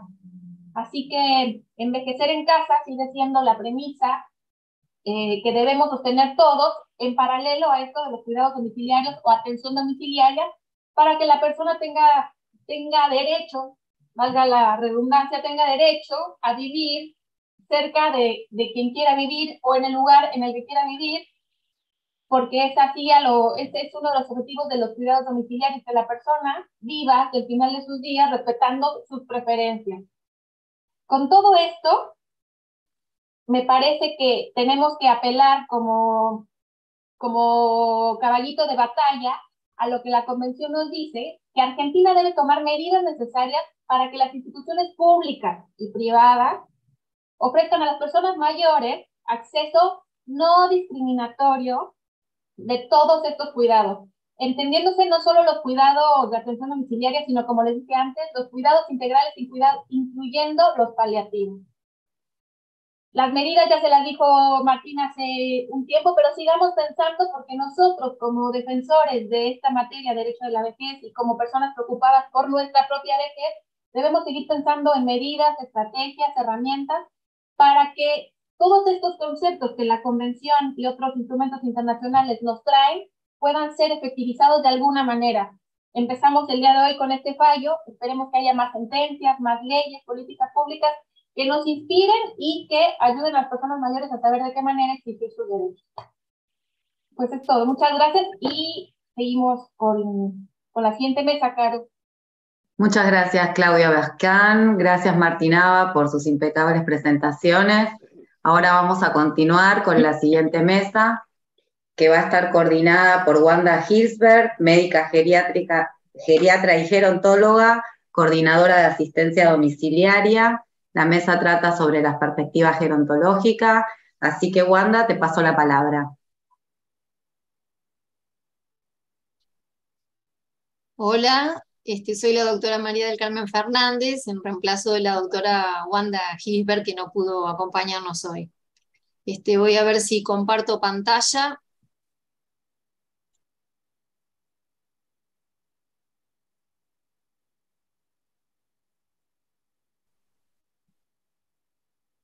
A ver, no se ve grande, ¿no? Ahí estamos. Bien. Bueno, este, para mí es un, gusto este, y un placer poder compartir con ustedes y quiero agradecer especialmente a la doctora Isolina Dabove quien me convocó. Eh, en este eh, ciclo, en esta presentación, voy a hacer hincapié en la persona mayor, los, los, ejes que elegí son hacer hincapié en la persona mayor Nicolasa, en la cuidadora principal, que es la hija, en el sistema de salud, y quiénes deben cuidar a nuestras personas mayores. Esta placa, voy a poner el video, nos permite ver eh, en el color violeta fuerte a los varones nativos en esta pirámide este, eh, y en esta pirámide poblacional, en el color verde las mujeres nativas y se ve en color clarito violeta los varones no nativos y las mujeres no nativas. Y acá podemos ver a, medida que pasan los años, cómo este, se va modificando la pirámide poblacional, como bien hicieron referencia, eh, hasta llegar al día de hoy con una pirámide que, es, eh, que tiene la base eh, más angosta y la cima también más ancha. Esto es lo que estamos asistiendo hoy por hoy a envejecimiento poblacional. Aquí comparto con ustedes dos pirámides. La de la izquierda pertenece al año 2010, vendría a ser la más actual, vamos a esperar los resultados del, nuevo censo. Eh, pero la proyección al año 2015 hace que eh, nosotros pensemos que en el mundo, en el, año 2050, perdón, eh, va a haber más población de personas mayores de 60 años que niños y adolescentes en el mundo. Esta transición este, eh, demográfica también se fue acompañando de lo que hoy llamamos transición epidemiológica. Sobre todo los antibióticos y las vacunas han logrado que, con otros avances de la medicina, han logrado un desplazamiento de la prevalencia de enfermedades transmisibles por otras enfermedades crónicas no transmisibles, como la diabetes, las enfermedades cardiovasculares, el cáncer, las enfermedades respiratorias crónicas y renales, entre otras, y esto va generando que la gente viva más, pero también eh, genera mayores posibilidades de discapacidad y dependencia. Quiero aprovechar este momento para este, eh, poder aclarar dos términos que también muchas veces algunos utilizan como sinónimos, pero que no lo son, que son la autonomía y la independencia. La autonomía es la capacidad de la persona de tomar sus propias decisiones. Las personas eh, podemos eh, decidir sobre cuestiones grandes o sobre situaciones pequeñas, incluso en situaciones donde existe o pacientes o personas que tienen deterioro cognitivo también pueden opinar, decidir, comunicarnos sus preferencias, por ejemplo, qué quiero comer, eh, dónde quiero ser cuidado, qué ropa quiero ponerme, etc. Sin embargo, la independencia es una condición física, es la capacidad de una persona para realizar eh, acciones por su propia cuenta sin ayuda de otras. ¿sí? Eh, uno de los índices que nos permite valorar de alguna manera las eh, actividades, la vida, actividades básicas de la vida diaria es el índice de Bartel, que evalúa la independencia en algunos puntos o actividades como son la alimentación. El índice de Bartel utiliza este, una categorización en que si la, la persona lo puede realizar solo, si necesita un poco de ayuda o necesita mucha ayuda. Estos son en los diferentes tópicos, como decía, la alimentación, el traslado de silla a la cama, el aseo, el traslado hacia o desde el inodoro, el bañarse, el desplazarse, subir o bajar escaleras, vestirse o desvestirse y la continencia intestinal y de la vejiga.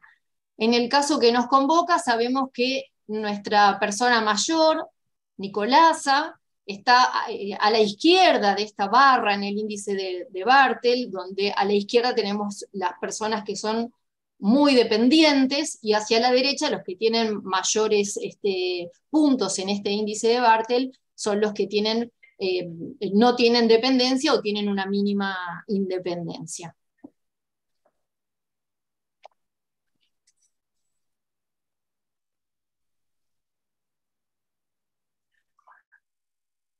Muy bien. Eh, como también este, compartió Isolina, es importante eh, remarcar que no es un gran grupo de personas dentro de la población mayor los que tienen dependencia. De hecho, el más del 90% eh, refieren que no presentan dependencia para las actividades básicas de la vida diaria. O sea que estamos hablando de menos del 10% de la población que sí presenta dependencia para las actividades de la, de la vida diaria. La flecha verde está otra vez indicando que nuestra persona mayor, Nicolasa, está abarcada dentro de este 10%. Y a medida que aumenta la edad, la población adulta mayor se vuelve más dependiente en este tipo de actividades, con un 5% en el grupo de entre 60 y 74 años, como se ve aquí, y más del 20% entre los que tienen más de 75 años la dependencia para las actividades básicas de la vida diaria también está feminizada. Las mujeres con dependencia básica duplican a los varones en todos los grupos de edad. También podemos hablar, aparte de la dependencia para las actividades básicas, hablamos de la dependencia para las actividades instrumentales. Entre ellas eh, podemos eh, hablar de las actividades como hacer compras, hacer tareas dentro del hogar, viajar en transporte, diferentes tipos de transporte, utilizar el teléfono, ya sea para marcar o para contestar una llamada, para preparar comidas calientes, para organizar los medicamentos y tomarlos, o para manejar el dinero. En este gráfico también podemos ver que eh, el 80% de las personas mayores son independientes eh, esto es en la República Argentina, ¿no? Son independientes para las actividades instrumentales de la vida diaria, mientras que hay cerca de un 22% de personas mayores que presentan limitaciones.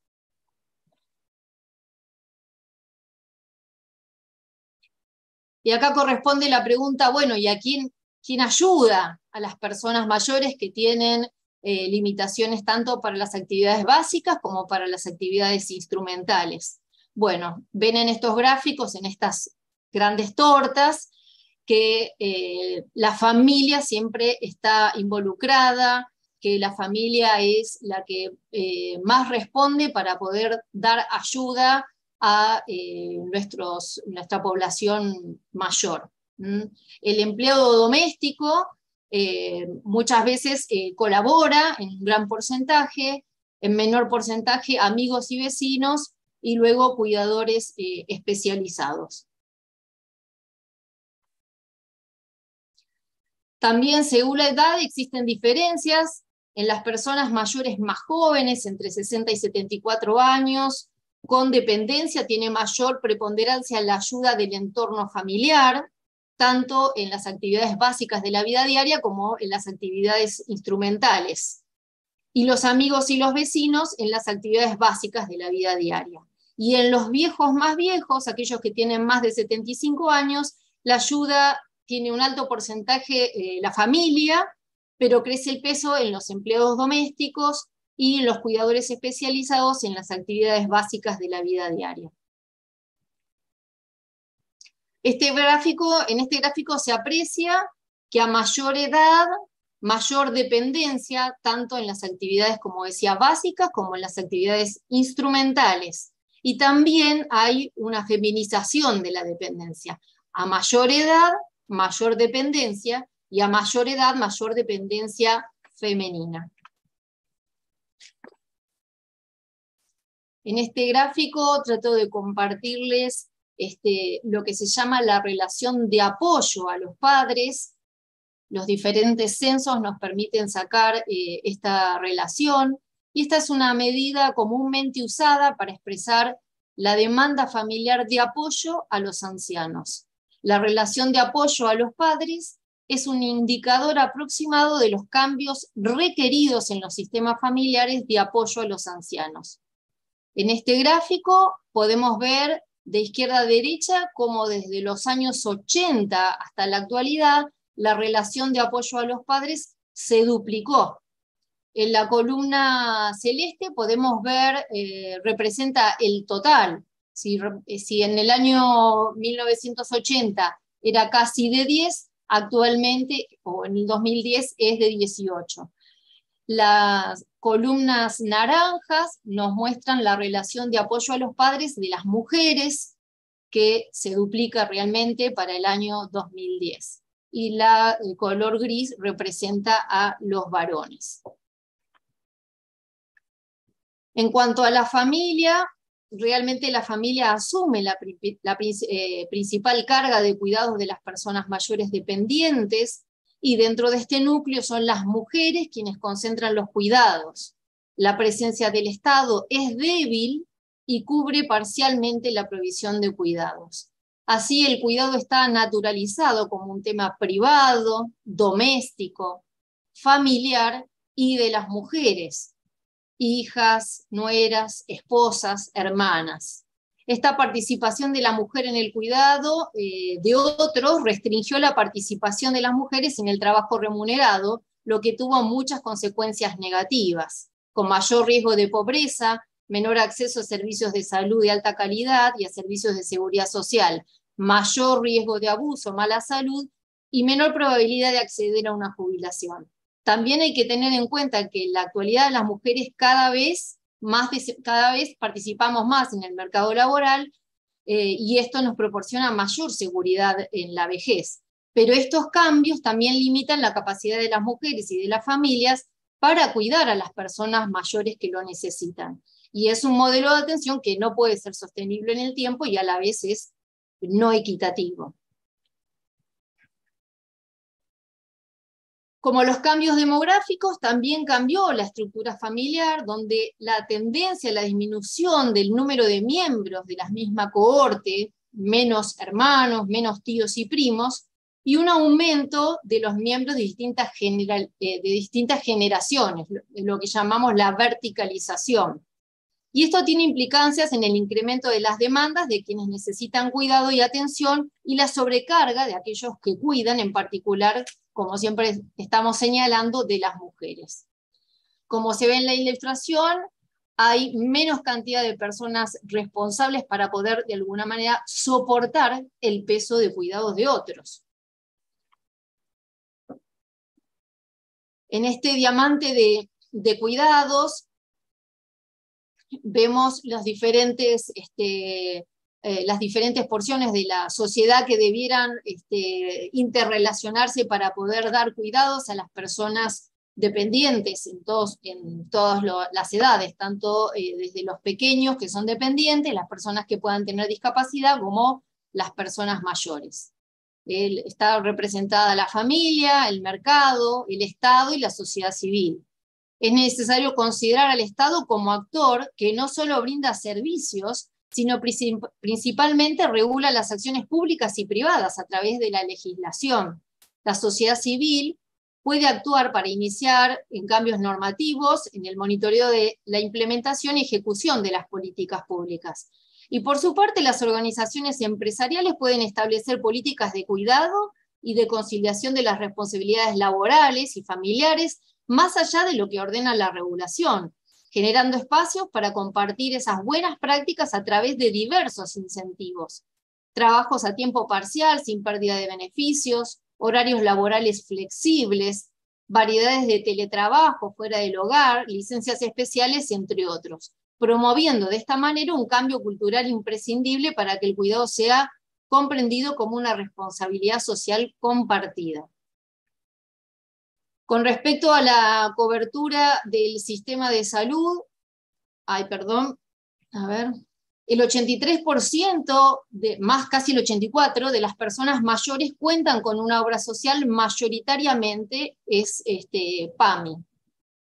La cobertura a través del sistema privado de la salud es una situación minoritaria y solo el 8,6% no cuenta con ningún tipo de cobertura de salud, convirtiéndose en potenciales usuarios del sistema, del sistema público. Y aquí este, vemos en este caso el PAMI, pero podría ser cualquier cobertura social, que se tapa los ojos y dice, frente a este caso de Nicolasa, que el problema de salud que padece es crónico y recuperable y por ende el servicio de internación domiciliaria que se le provee no surtirá ningún tipo de efecto. Sin embargo, el fallo se basa en la Convención Interamericana sobre la Protección de los Derechos Humanos de las Personas Mayores, que establecen el derecho a la salud física y mental sin ningún tipo de discriminación.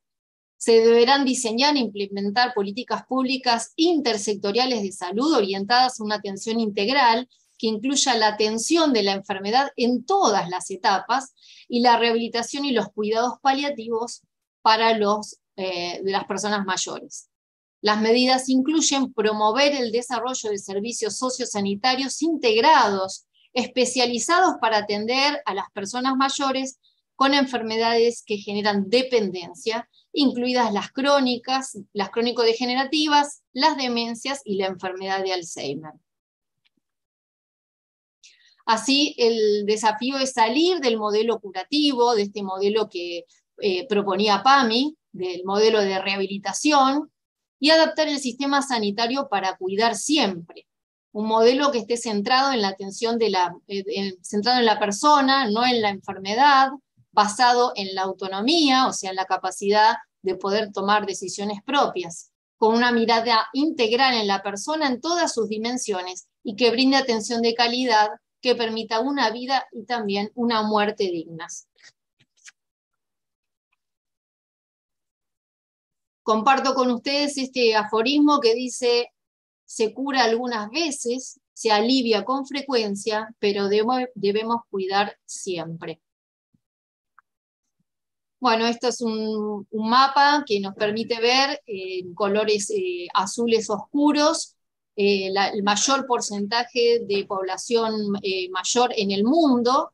Lo vemos a la izquierda en el año 2009 y una proyección para el año 2050, donde aparecen, como les decía, los colores azules más eh, fuertes, más predominantes, y esto quiere decir que eh, vamos y seguimos en este camino del envejecimiento poblacional. Este logro también es un gran desafío en la planificación de todos los tipos de sistemas de cobertura de salud, previsión social, trabajo, educación y transporte y otros campos para dar respuesta a esta nueva distribución etaria.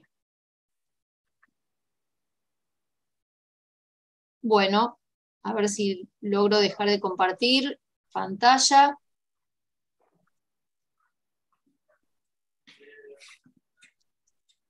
Ahí estamos.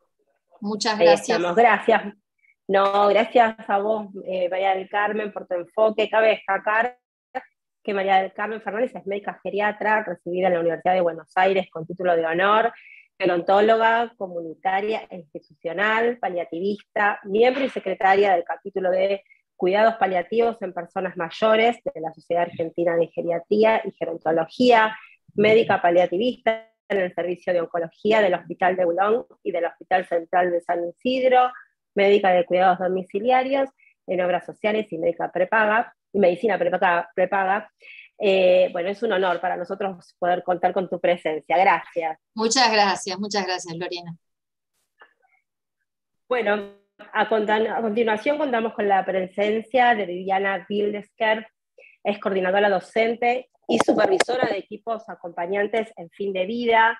Se formó como psicoterapeuta, humanista, eh, autoasistencia, psicológico, modelo del doctor Levy y en cuidados paliativos. Es experta en validación método FAIL para la comunicación con personas con demencia y facilitadora para la toma de decisiones por consenso.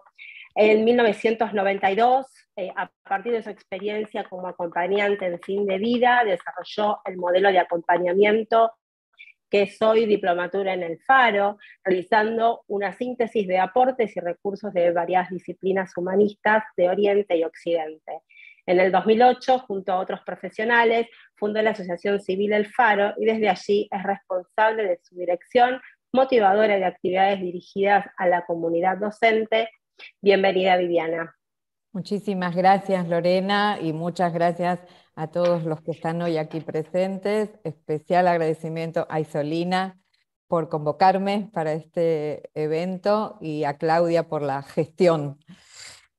Yo quisiera eh, aportar desde mi experiencia de acompañante algo acerca de lo que es la intimidad de la vida de una familia, como puede ser la familia de Nicolasa, con la que ya nos vamos familiarizando, cuando una persona mayor es diagnosticada con Alzheimer, cuando los hijos son también grandes, como en este caso, y se presentan innumerables desafíos. Primero contarles un dato que me parece relevante. Según encuestas que se hicieron, el 35% de las personas que han cuidado a familiares con demencias varias, especialmente Alzheimer, manifiestan haber experimentado deterioro en su salud. Este es un porcentaje bastante importante si lo comparamos con un 15% que se considera de eh, afectaciones a la salud en personas que han cuidado a familiares en fin de vida que no padecieron Alzheimer. Quiere decir que hay algo en la condición de la demencia en general y del Alzheimer en particular que es importante tener en cuenta desde el punto de vista del impacto psicológico, afectivo, práctico, funcional etcétera, en la vida cotidiana. Em, el lema de la... Eh, ahora estamos en el mes mundial del Alzheimer, me parece interesante destacarlo, próximamente tendremos el Día Mundial del Alzheimer, y el lema que tuvo el Día Mundial del Alzheimer en el año 2017 fue Sigo siendo yo. Entonces, me parece muy importante tener en cuenta, como se dice comúnmente, que una persona con Alzheimer es una persona con Alzheimer, es ante todo una persona. Y que de ahí que es tan importante y tan básico el respeto y el cuidado de sus derechos. También es importante tener en cuenta que justamente por el deterioro cognitivo que está implícito en la condición, son otros los que muchas veces tienen que ocuparse de que se defiendan, se cuiden, se amparen sus derechos, como en este caso la familia. Ahora, cuando hablamos de cuidados, por supuesto, no hablamos solamente de los cuidados físicos, que obviamente están incluidos y las personas con Alzheimer necesitan, a medida que progresa la enfermedad, cada vez más asistencia directa e inmediata sino que también hay cuidados emocionales que es importante brindar desde esta idea de que sigo siendo yo, sigue siendo una persona, con dificultades para la comunicación, con dificultades para la expresión y para el funcionamiento cotidiano, y aún así un ser humano con necesidades, con emociones que deben ser atendidas. Entonces, cuando se habla de cuidados y de cuidados integrales, obviamente van a abarcar la totalidad de la persona y además la totalidad del entorno. Porque el cuidador domiciliario no solamente va a cuidar a la persona con demencia, sino que también va a cuidar a los cuidadores familiares, valga la redundancia, repitiendo mucho la palabra cuidados. Las personas, los familiares, por lo menos desde mi experiencia personal, los familiares que cuidan a sus padres, madres, cónyuges con Alzheimer, necesitan ser cuidados también. Necesitan recibir atención adecuada, necesitan descanso, necesitan recreación, necesitan expresar sus emociones, necesitan descarga. Entonces, es un sistema de cuidados el que es importante implementar, en donde el cuidador domiciliario se va a diversificar, podríamos decir, o va a abarcar con su, en su área de cuidados no solamente a la persona, sino también al entorno familiar. Sé por experiencia del alivio realmente profundo que experimenta una familia cuando finalmente se organiza un sistema de cuidados permanentes y progresivos.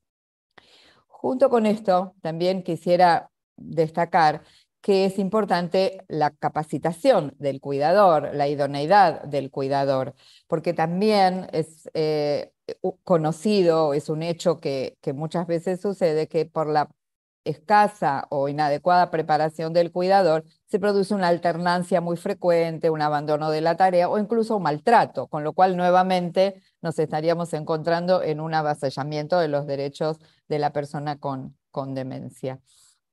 Creo que eh, aquí hay que tener en cuenta eh, la protección de los derechos de la persona, eh, no solo en el sentido de los cuidados domiciliarios, sino también en el sentido de los cuidados paliativos, porque una persona con demencia cuyo cuya condición progresa inexorablemente, va a necesitar una atención interdisciplinaria también desde el ámbito asistencial. Y el cuidador domiciliario forma parte del equipo asistencial, es una pieza clave, es una persona que conoce la vida cotidiana, que sabe detectar los cambios que sabe cómo ha dormido la persona, cómo ha comido, si ha podido o no ir de, cuerpo, que sabe si ha tomado la medicación, que sabe de su estado de ánimo y es un agente de información fundamental para el equipo asistencial. Y es muy importante que sea incluido y contemplado como, como una pieza clave, dado que su información puede determinar los caminos terapéuticos que se vayan a implementar para el cuidado de la persona, en este caso hablo, del Alzheimer, pero podría en general referirme a cualquier situación de cuidados de fin de vida. Por lo tanto, el perfil o la, profesión del cuidador es más que importante que sea incluida en un equipo interdisciplinario. Yo eh, destaqué de todas las cosas que fui escuchando, que me parecieron tan nutritivas y me alivia, y esto se los quiero compartir, saber que existen las instancias jurídicas que eh, se ocupan de defender estos derechos, porque quienes trabajamos en el territorio, quienes vamos a los domicilios y conversamos con la familia, muchas veces percibimos la impotencia de muchas familias que se encuentran desamparadas o desprotegidas y que por la realidad cotidiana que están viviendo no siempre tienen esa energía disponible para eh, buscar el recurso jurídico que los defienda. Entonces, me parece que es muy importante eh, ponderar los muchos desafíos que tiene una familia en donde cuando estos derechos son avasallados o no respetados, no siempre existe la claridad de poder recurrir a una instancia jurídica, lo cual deviene en una sobrecarga para la familia. En nuestra cultura latina, podríamos decir, consideramos que el cuidado principal de las personas mayores es la familia y a la vez está, radica en la familia. Pero a la vez, como se dijo eh, hace un ratito, hay un cambio muy grande en la estructura de la familia. Entonces, a veces el concepto familia pasa a ser algo así como un mito, porque hay un hijo y otros viven afuera, ¿sí? Y los nietos están ocupados. Entonces, hay alguien que oficia un poco de, eh, receptor de toda esa sobrecarga y cuando se encuentra en una situación en donde no son respetados los derechos, aumenta su soledad, aumenta su impotencia. Y de eso somos testigos muchos profesionales que estamos en contacto directo con las, con las familiares, con las personas, que estamos en el domicilio y que muchas veces nos preocupa el desamparo de la persona con demencia en este caso, la no posibilidad de autocuidado del familiar y todo lo que eso, de, lo que eso deviene en última instancia en una baja calidad de vida y eventualmente en una baja calidad de muerte, lo cual es muy lamentable. Entonces, si nos planteamos, y creo que esto es un poco lo que pretendo y me gustaría transmitir, como sociedad, como Estado, como país, promover prácticas que alivien el sufrimiento o directamente no lo generen, tenemos que tener una mirada amplia como comunidad y entender que el cuidado es también una responsabilidad comunitaria. La familia es un círculo de contención y de apoyo y la comunidad puede apoyar a la familia también y en, en esa interacción cotidiana con la persona, en este caso con la persona con, con demencia. Esto es básicamente lo que quería transmitir. No sé si estoy en los tiempos previstos, ustedes me dirán. Eh, mi experiencia eh, tiene más que ver con la captación del sufrimiento subjetivo de las personas y me alegra saber que se pueden hacer puentes entre la dimensión subjetiva del sufrimiento y las instancias jurídicas, comunitarias y estatales en una armonía que nos debemos como sociedad, dado que todas las estadísticas nos están mostrando que vamos envejeciendo, que vamos eh, hacia un mundo en donde va a ser un desafío. Hoy en día se calcula que para una persona con demencia son necesarios alrededor de siete eh, promedio, siete eh, agentes asistenciales entre cuidadores domiciliarios, profesionales de la salud y cuidadores familiares. Y eh, es muy importante que tengamos conciencia de esto porque la dependencia, el aumento de la dependencia es un desafío no solo personal, sino también comunitario. Y para eso creo que es importante que nos preparemos. Bueno, hasta aquí. Muchísimas gracias por darme la posibilidad de intervenir. Gracias. Gracias, Viviana, por tus palabras. Eh, bueno, ahora vamos a abrir un bloque de preguntas para que los participantes eh, que quieran opinar, eh, está abierto el panel para que opinen.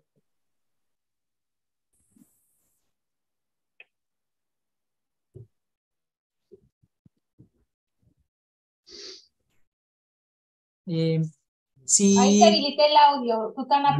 Tienes que habilitar el audio, Susana. ¿Ya está? Hola. Hola.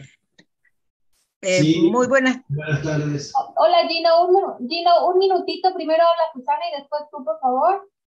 Gracias. Eh, muy buenas tardes. Un, un solo apunte ya que estamos obligados a repensar muchas cosas.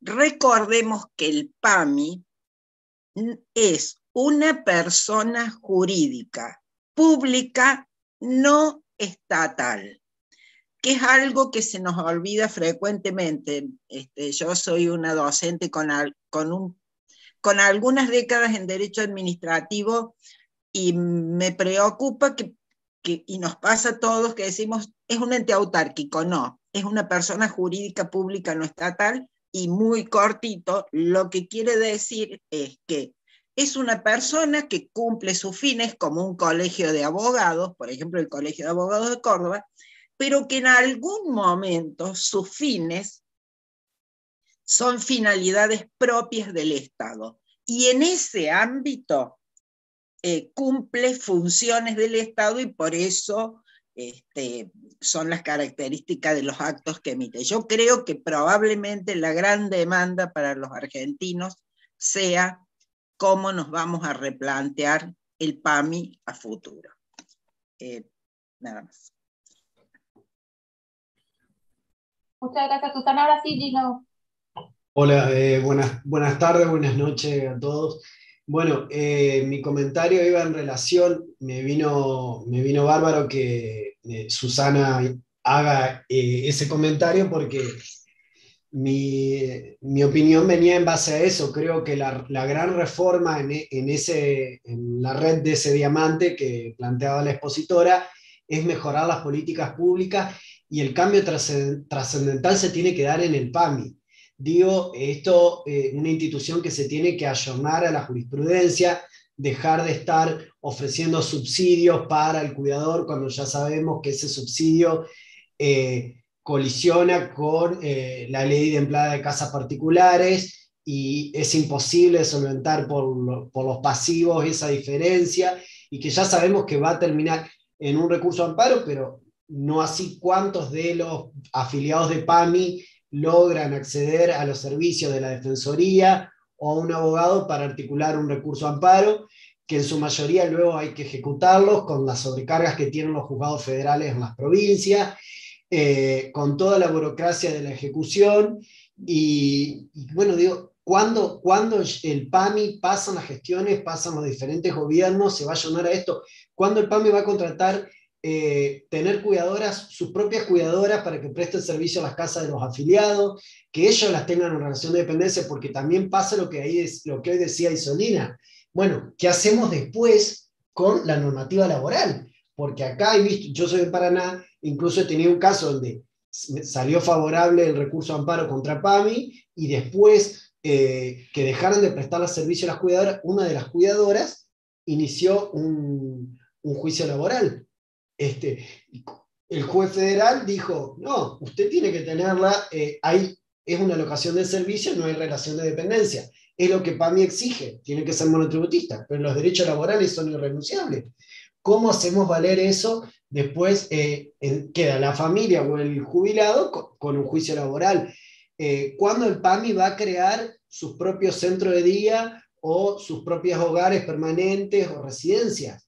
Después terminamos también con, eh, también hay abusos por parte de ciertas instituciones porque bueno, lógicamente son empresas, eso nadie lo discute, tienen que, que pagar su salario de sus trabajadores, tener un personal acorde, capacitado, pero eh, por suerte ahora acá en Entre Ríos, eh, digamos, la jurisprudencia de la provincia en cuanto a lo que es materia de salud, eh, los fallos, los juicios, los recursos de amparos contra la obra social de la provincia, que es IOSPER, se viene llamando el criterio de la Corte Suprema, digamos, de tomar como parámetro objetivo el nomenclador de prestaciones básicas, porque si no teníamos fallos hace años atrás que cualquier presupuesto de lo que cobraba la residencia, que de dónde se tomaban eso, cuál era el parámetro objetivo, no, dejarlo en un ente estatal. Si la obra social no tiene eh, un prestador, bueno, se va a tener que ajustar a, eso, esos valores. Y en el medio queda el afiliado eh, en, esa, en esa red de tensión diciendo, solicito un hogar, no hay un, eh,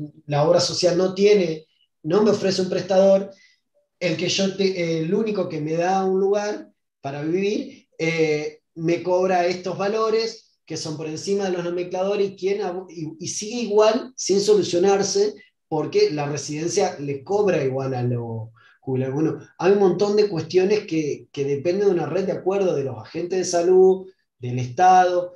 Eh, creo que ahí es donde mayor se debe dar el, el enfoque de solución a, a los problemas que hoy digamos, eh, se van dando. Sí, hizo. Sí, eh, gracias Lore. Después tengo, una pregunta que me pasaron acá para hacer a, los, a todos. Perfecto, gracias Lore. Eh, no, quiero puntualizar algunos temas que han sido propuestos recién por Susana y por Chino. En primer lugar, sí, todos reconocemos que el PAMI es un eh, un ente, una persona jurídica pública, no estatal, pero que está intervenida. Y además de eso, eh, constituye en, la República Argentina eh, la referencia obligada de todas las personas que tienen una jubilación, porque es la obra social de los jubilados. ¿no? Básicamente es esto, lo decimos así en general, sobre todo pensando en la gente que, que, no, que no es de este país. Eh, la elección del caso no, no se debe específicamente para hablar sobre el PAMI, sino para introducir la temática general de, referida a la necesidad de eh, ofrecer una contención, ofrecer una política pública y privada de cobertura de una necesidad como es la de asistencia domiciliaria que está creciendo a pasos agigantados. Entonces, el PAMI lamentablemente es de referencia obligada porque, reitero, el 90% de las personas mayores en condiciones de acceder a una jubilación están jubiladas, aunque sea con la mínima. Y esto hace que automáticamente puedan ser beneficiarios de esta cobertura sanitaria que la da el PAMI.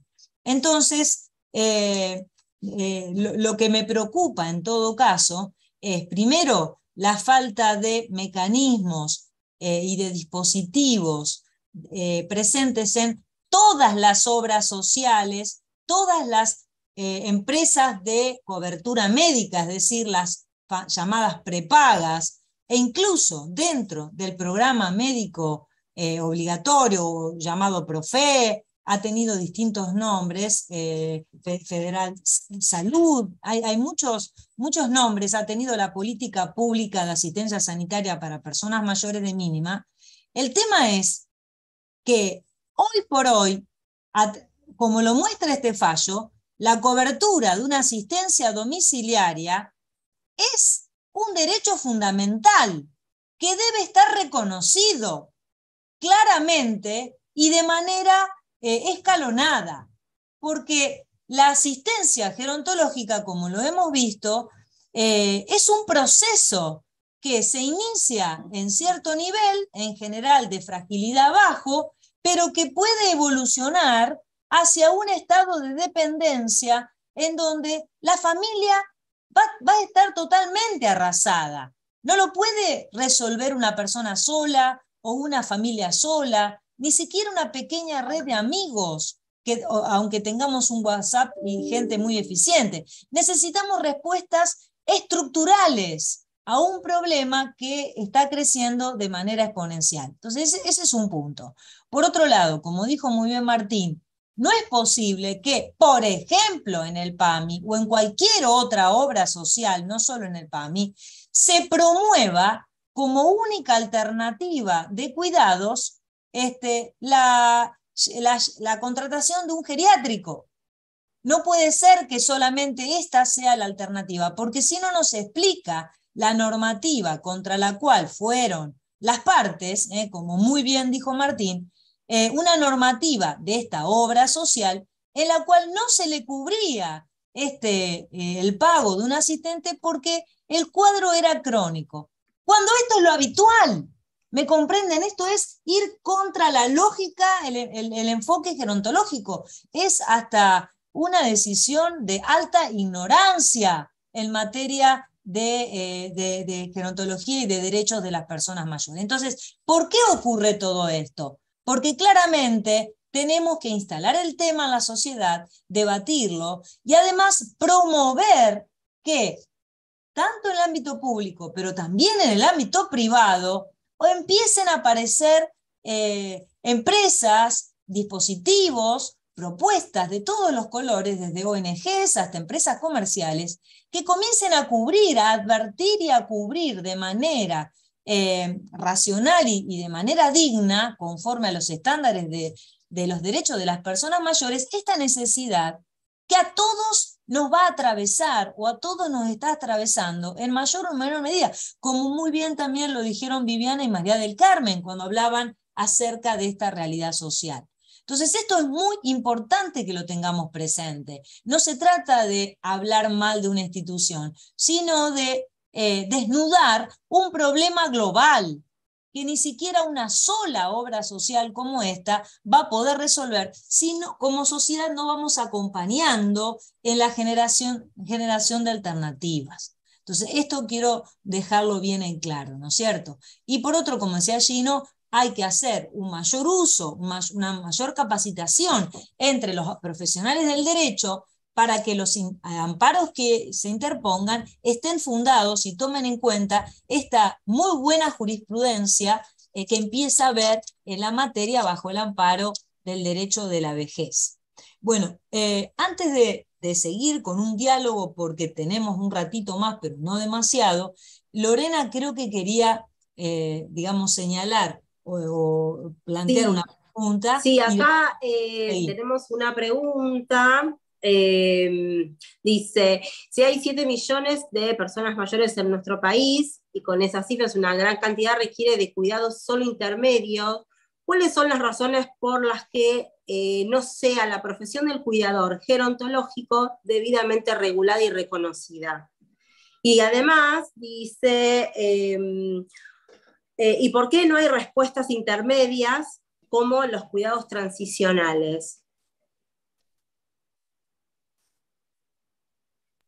No sé si María del Carmen o... María del Viviana. Carmen o Viviana. Están, están silenciadas. Ahí. Sí, ¿me, me repetís, eh, Lorena, por favor, la pregunta? Sí, la pregunta es, eh, si hay 7 millones de personas mayores en nuestro país, y hay, eh, bueno, las cifras hay, eh, implican una gran cantidad, requiere solamente cuidados intermedios. ¿Cuáles son las razones por las cuales eh, no está regulada la profesión del cuidador gerontológico? Regulada y reconocida, ¿no? Y por otro lado, ¿por qué no hay respuestas intermedias como cuidados transicionales. Eh, bueno, yo no sé si puedo responder a, la pregunta, pero la verdad que hay muchos, este, eh, hay muchas partes involucradas, ¿no? Eh, me parece que un poco lo que decía Isolina sobre el tema de si es PAMI o es un prepago, etcétera, detrás de, mucho de todo esto está quién paga, digamos, ¿no? Incluso el certificado de discapacidad es el certificado eh, que está legislado, pero no siempre las, personas tienen certificado de discapacidad y no por eso dejan de ser, eh, digamos, discapacitados, ¿no? Es como yo a veces eh, asimilo la, licencia de conducir. La tengo, bueno, estoy legalmente habilitado para conducir, lo, si no la tengo no quiere decir que no pueda, que no sepa, digamos, conducir, no sea hábil para eso. Acá hay muchos intereses del Estado, eh, de los prepagos, eh, de las familias, pero bueno, como decíamos anteriormente, hay mucha responsabilidad de parte de la familia, responsabilidades eh, económicas, de trabajo, etcétera, que hacen realmente este, muy, muy difícil poder sostener estas situaciones con gran dependencia. Incluso, como comentaban anteriormente, cuando una persona mayor con dependencia pasa a una residencia de larga estadía, no es que la familia se desentiende, digamos, completamente, sino que por el contrario, este, se aliviana un poco, seguramente, eh, pero tiene que estar atrás también de esa persona para comprar la medicación, para ir a visitarle, para darle afecto, para vestirla, para ver, disculpen que lo diga así, pero sí, eh, el desodorante que lleve está al día siguiente. Eh, pasa así, esta es la realidad. Así que este, la figura del, cuidador o del asistente gerontológico no está del todo este, reglada, es más, los prepagos cuando terminan muchas veces por cuestiones judiciales, indicando que vaya un cuidador o aceptando que vaya un cuidador por determinada cantidad de horas, y el cuidador por ahí es una persona que trabajó puede ser de cualquier cosa, de, empleada, de, albañil, de como nos ha pasado, de este, una, generalmente son personas que por ahí este, son eh, cuidadores pero no capacitados y nada de esto está este, arreglado. Y además, cuando la familia tiene la suerte de tener el apoyo de un cuidador, eh, no tiene un certificado de buena conducta ese cuidador.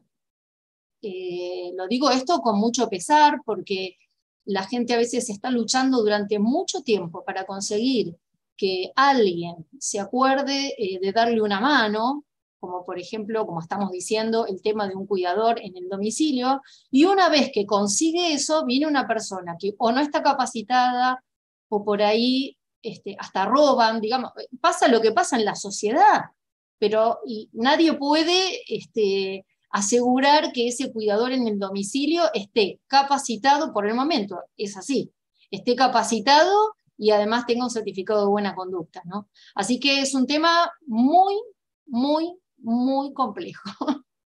No sé, Viviana, si puedes aportar comentario. Sí, cortito, cortito, adhiero a lo que estás diciendo es una reflexión también que, tiene que ver con que eh, el cuidador gerontológico forma parte todavía de un sistema eh, no humanizado de atención. Creo que acá hay también que plantearse el desafío de ir hacia una humanización del sistema de cuidados. ¿Por qué digo esto? Porque cuando se habla de un cuidador y se eh, visualiza la tarea y se la acota exclusivamente a los cuidados físicos, como puede ser, que, que no son, por supuesto, de menor importancia, como el aseo, la alimentación, la medicación, y no se tienen en cuenta los aspectos emocionales, psicológicos, afectivos de la persona que está siendo atendida, el cuidador domiciliario fácilmente puede ser, como dice María del Carmen,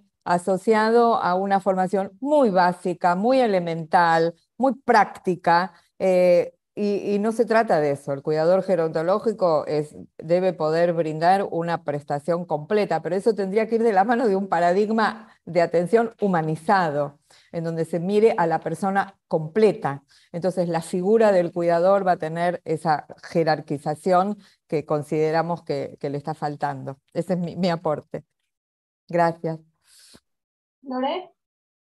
Gracias. Sí, Clau. Eh, lo que Perla, Perla nos preguntaba también, ¿por qué no pensamos en respuestas intermedias para el cuidado de las personas mayores para que no sean los extremos, que envejezca en casa y tal vez mal cuidado o que envejezca en una residencia gerontológica. Y me parece que al hablar de un sistema integral de cuidados debemos pensar en cuidados de larga duración con esta red, podríamos llamar informal, que son la familia, los vecinos, los clubes que están cerca de la casa, pero también tendríamos que pensar en otro tipo de servicios sociales, como los que tienen base comunitaria, como los servicios de teleasistencia o los servicios domésticos en casa, o la asistencia personalizada en casa que tienen estos asistentes gerontológicos. También podríamos pensar en servicios sociales formales, ya con una base institucional, no solo las residencias gerontológicas, sino, por ejemplo, hostales, o los pequeños hogares, o los centros de día, o las instituciones de 24 horas y de retiro. Y obviamente ya también los servicios sanitarios como los, los centros de salud primaria, los centros de rehabilitación. Me parece que cuando hablamos de un sistema integral de cuidados no debemos limitarnos solo. Dijimos que como premisa general está el cuidado y el envejecer en casa como algo que todos ideamos y que todos queremos pero también podemos pensar en otro tipo de, de modelos de cuidados que nos permitan mantener nuestra dignidad, autonomía e independencia, no ser, y pongo comillas porque no es así siempre y tampoco debemos tomarlo como un drama, pero no ser una carga para la familia y sentirnos autónomos, independientes y vivir y elegir de la manera que, que mejor nos que mejor nos quede a nuestra propia personalidad, a nuestra forma de vida, a nuestros deseos.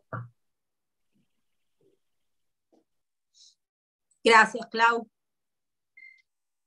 Hola, ¿se escucha? Sí, sí. Ah, ok. Gracias, Clau. Eh, Martín, si andas por ahí. Sí, acá estoy. Adhiero absolutamente a todo lo que acaban de decir, todas las personas que acaban de opinar. Em, creo que principalmente lo, fundamental es que el Estado, em, quizás antes de pensar en cosas más complejas, e, es tratar eh, de asegurarnos de que el Estado dé algún tipo de respuesta, por más mínima que sea, a esta cuestión que, como dijo Isolina, es una cuestión eh, que por el hecho de que las personas este, viven cada vez más, está creciendo de manera exponencial. Y una eh, cosa que mencionaron eh, anteriormente, creo que fue María del Carmen, y que no sé si le hemos dado este, la, importancia que, que, merece, es el hecho de que, como lo tiene estudiado de manera estadística la red IMPEA para el maltrato eh, y abuso de las personas mayores, una de las principales causas de maltrato y abuso hacia las personas mayores son los cuidadores que están cansados.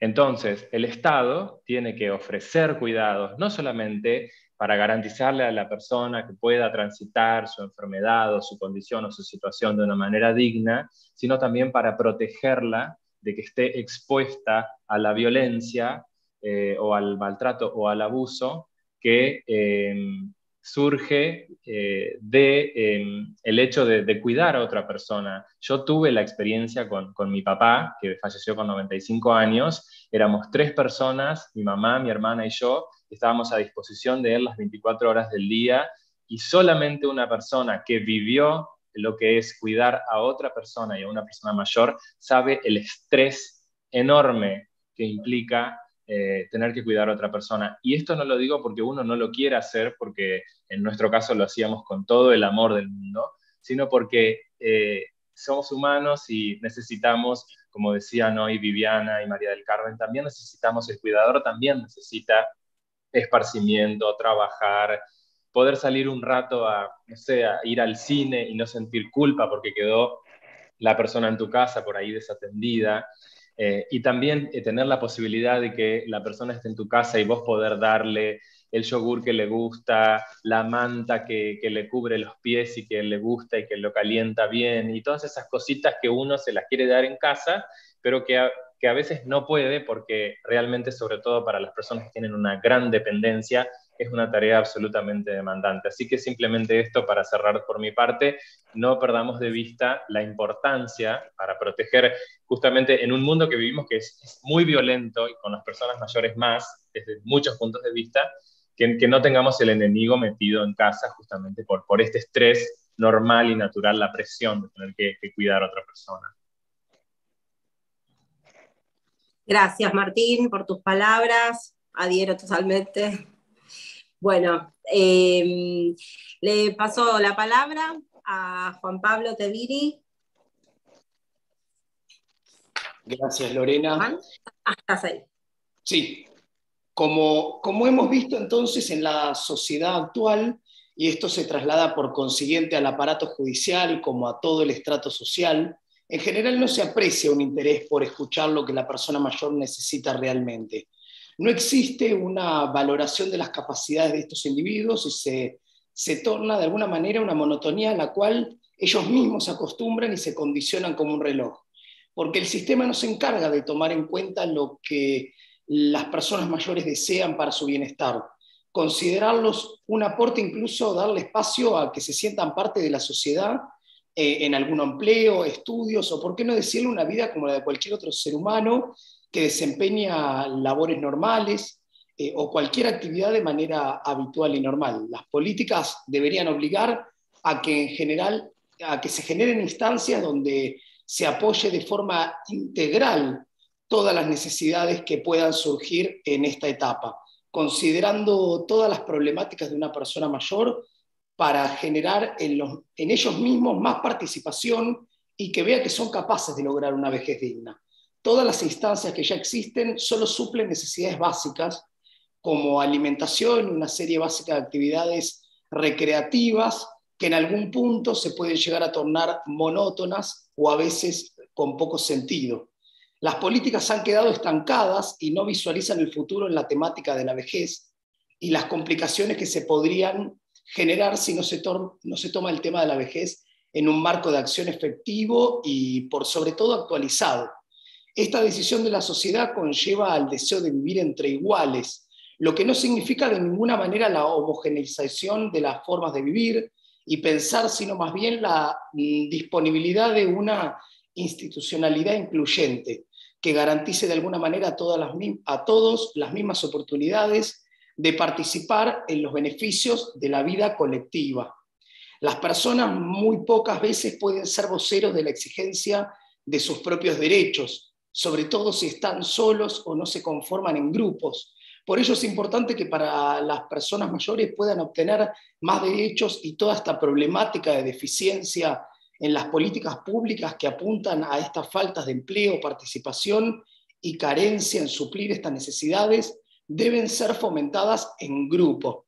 Es imperativo que las personas mayores sean motivadas a hablar por ellos mismos, fomentándolos a que puedan, ser partícipes ellos mismos de una modificación en lo que apelan o lo que se necesita para que las personas mayores tengan una vejez digna.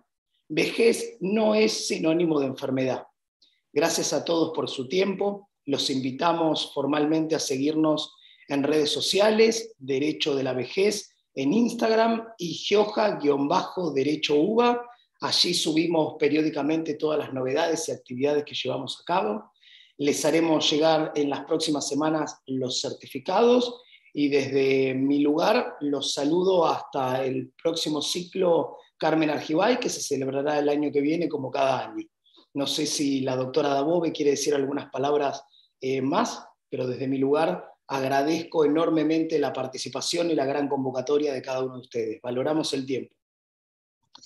Muchísimas gracias, Juan Pablo. Eh, quiero eh, hacer un reconocimiento muy cálido y muy, muy, muy sentido a todo el equipo que componemos este seminario permanente de investigación, con quienes eh, trabajo desde hace, digamos, ya casi una docena de años, casi 12 eh, años que estamos juntos.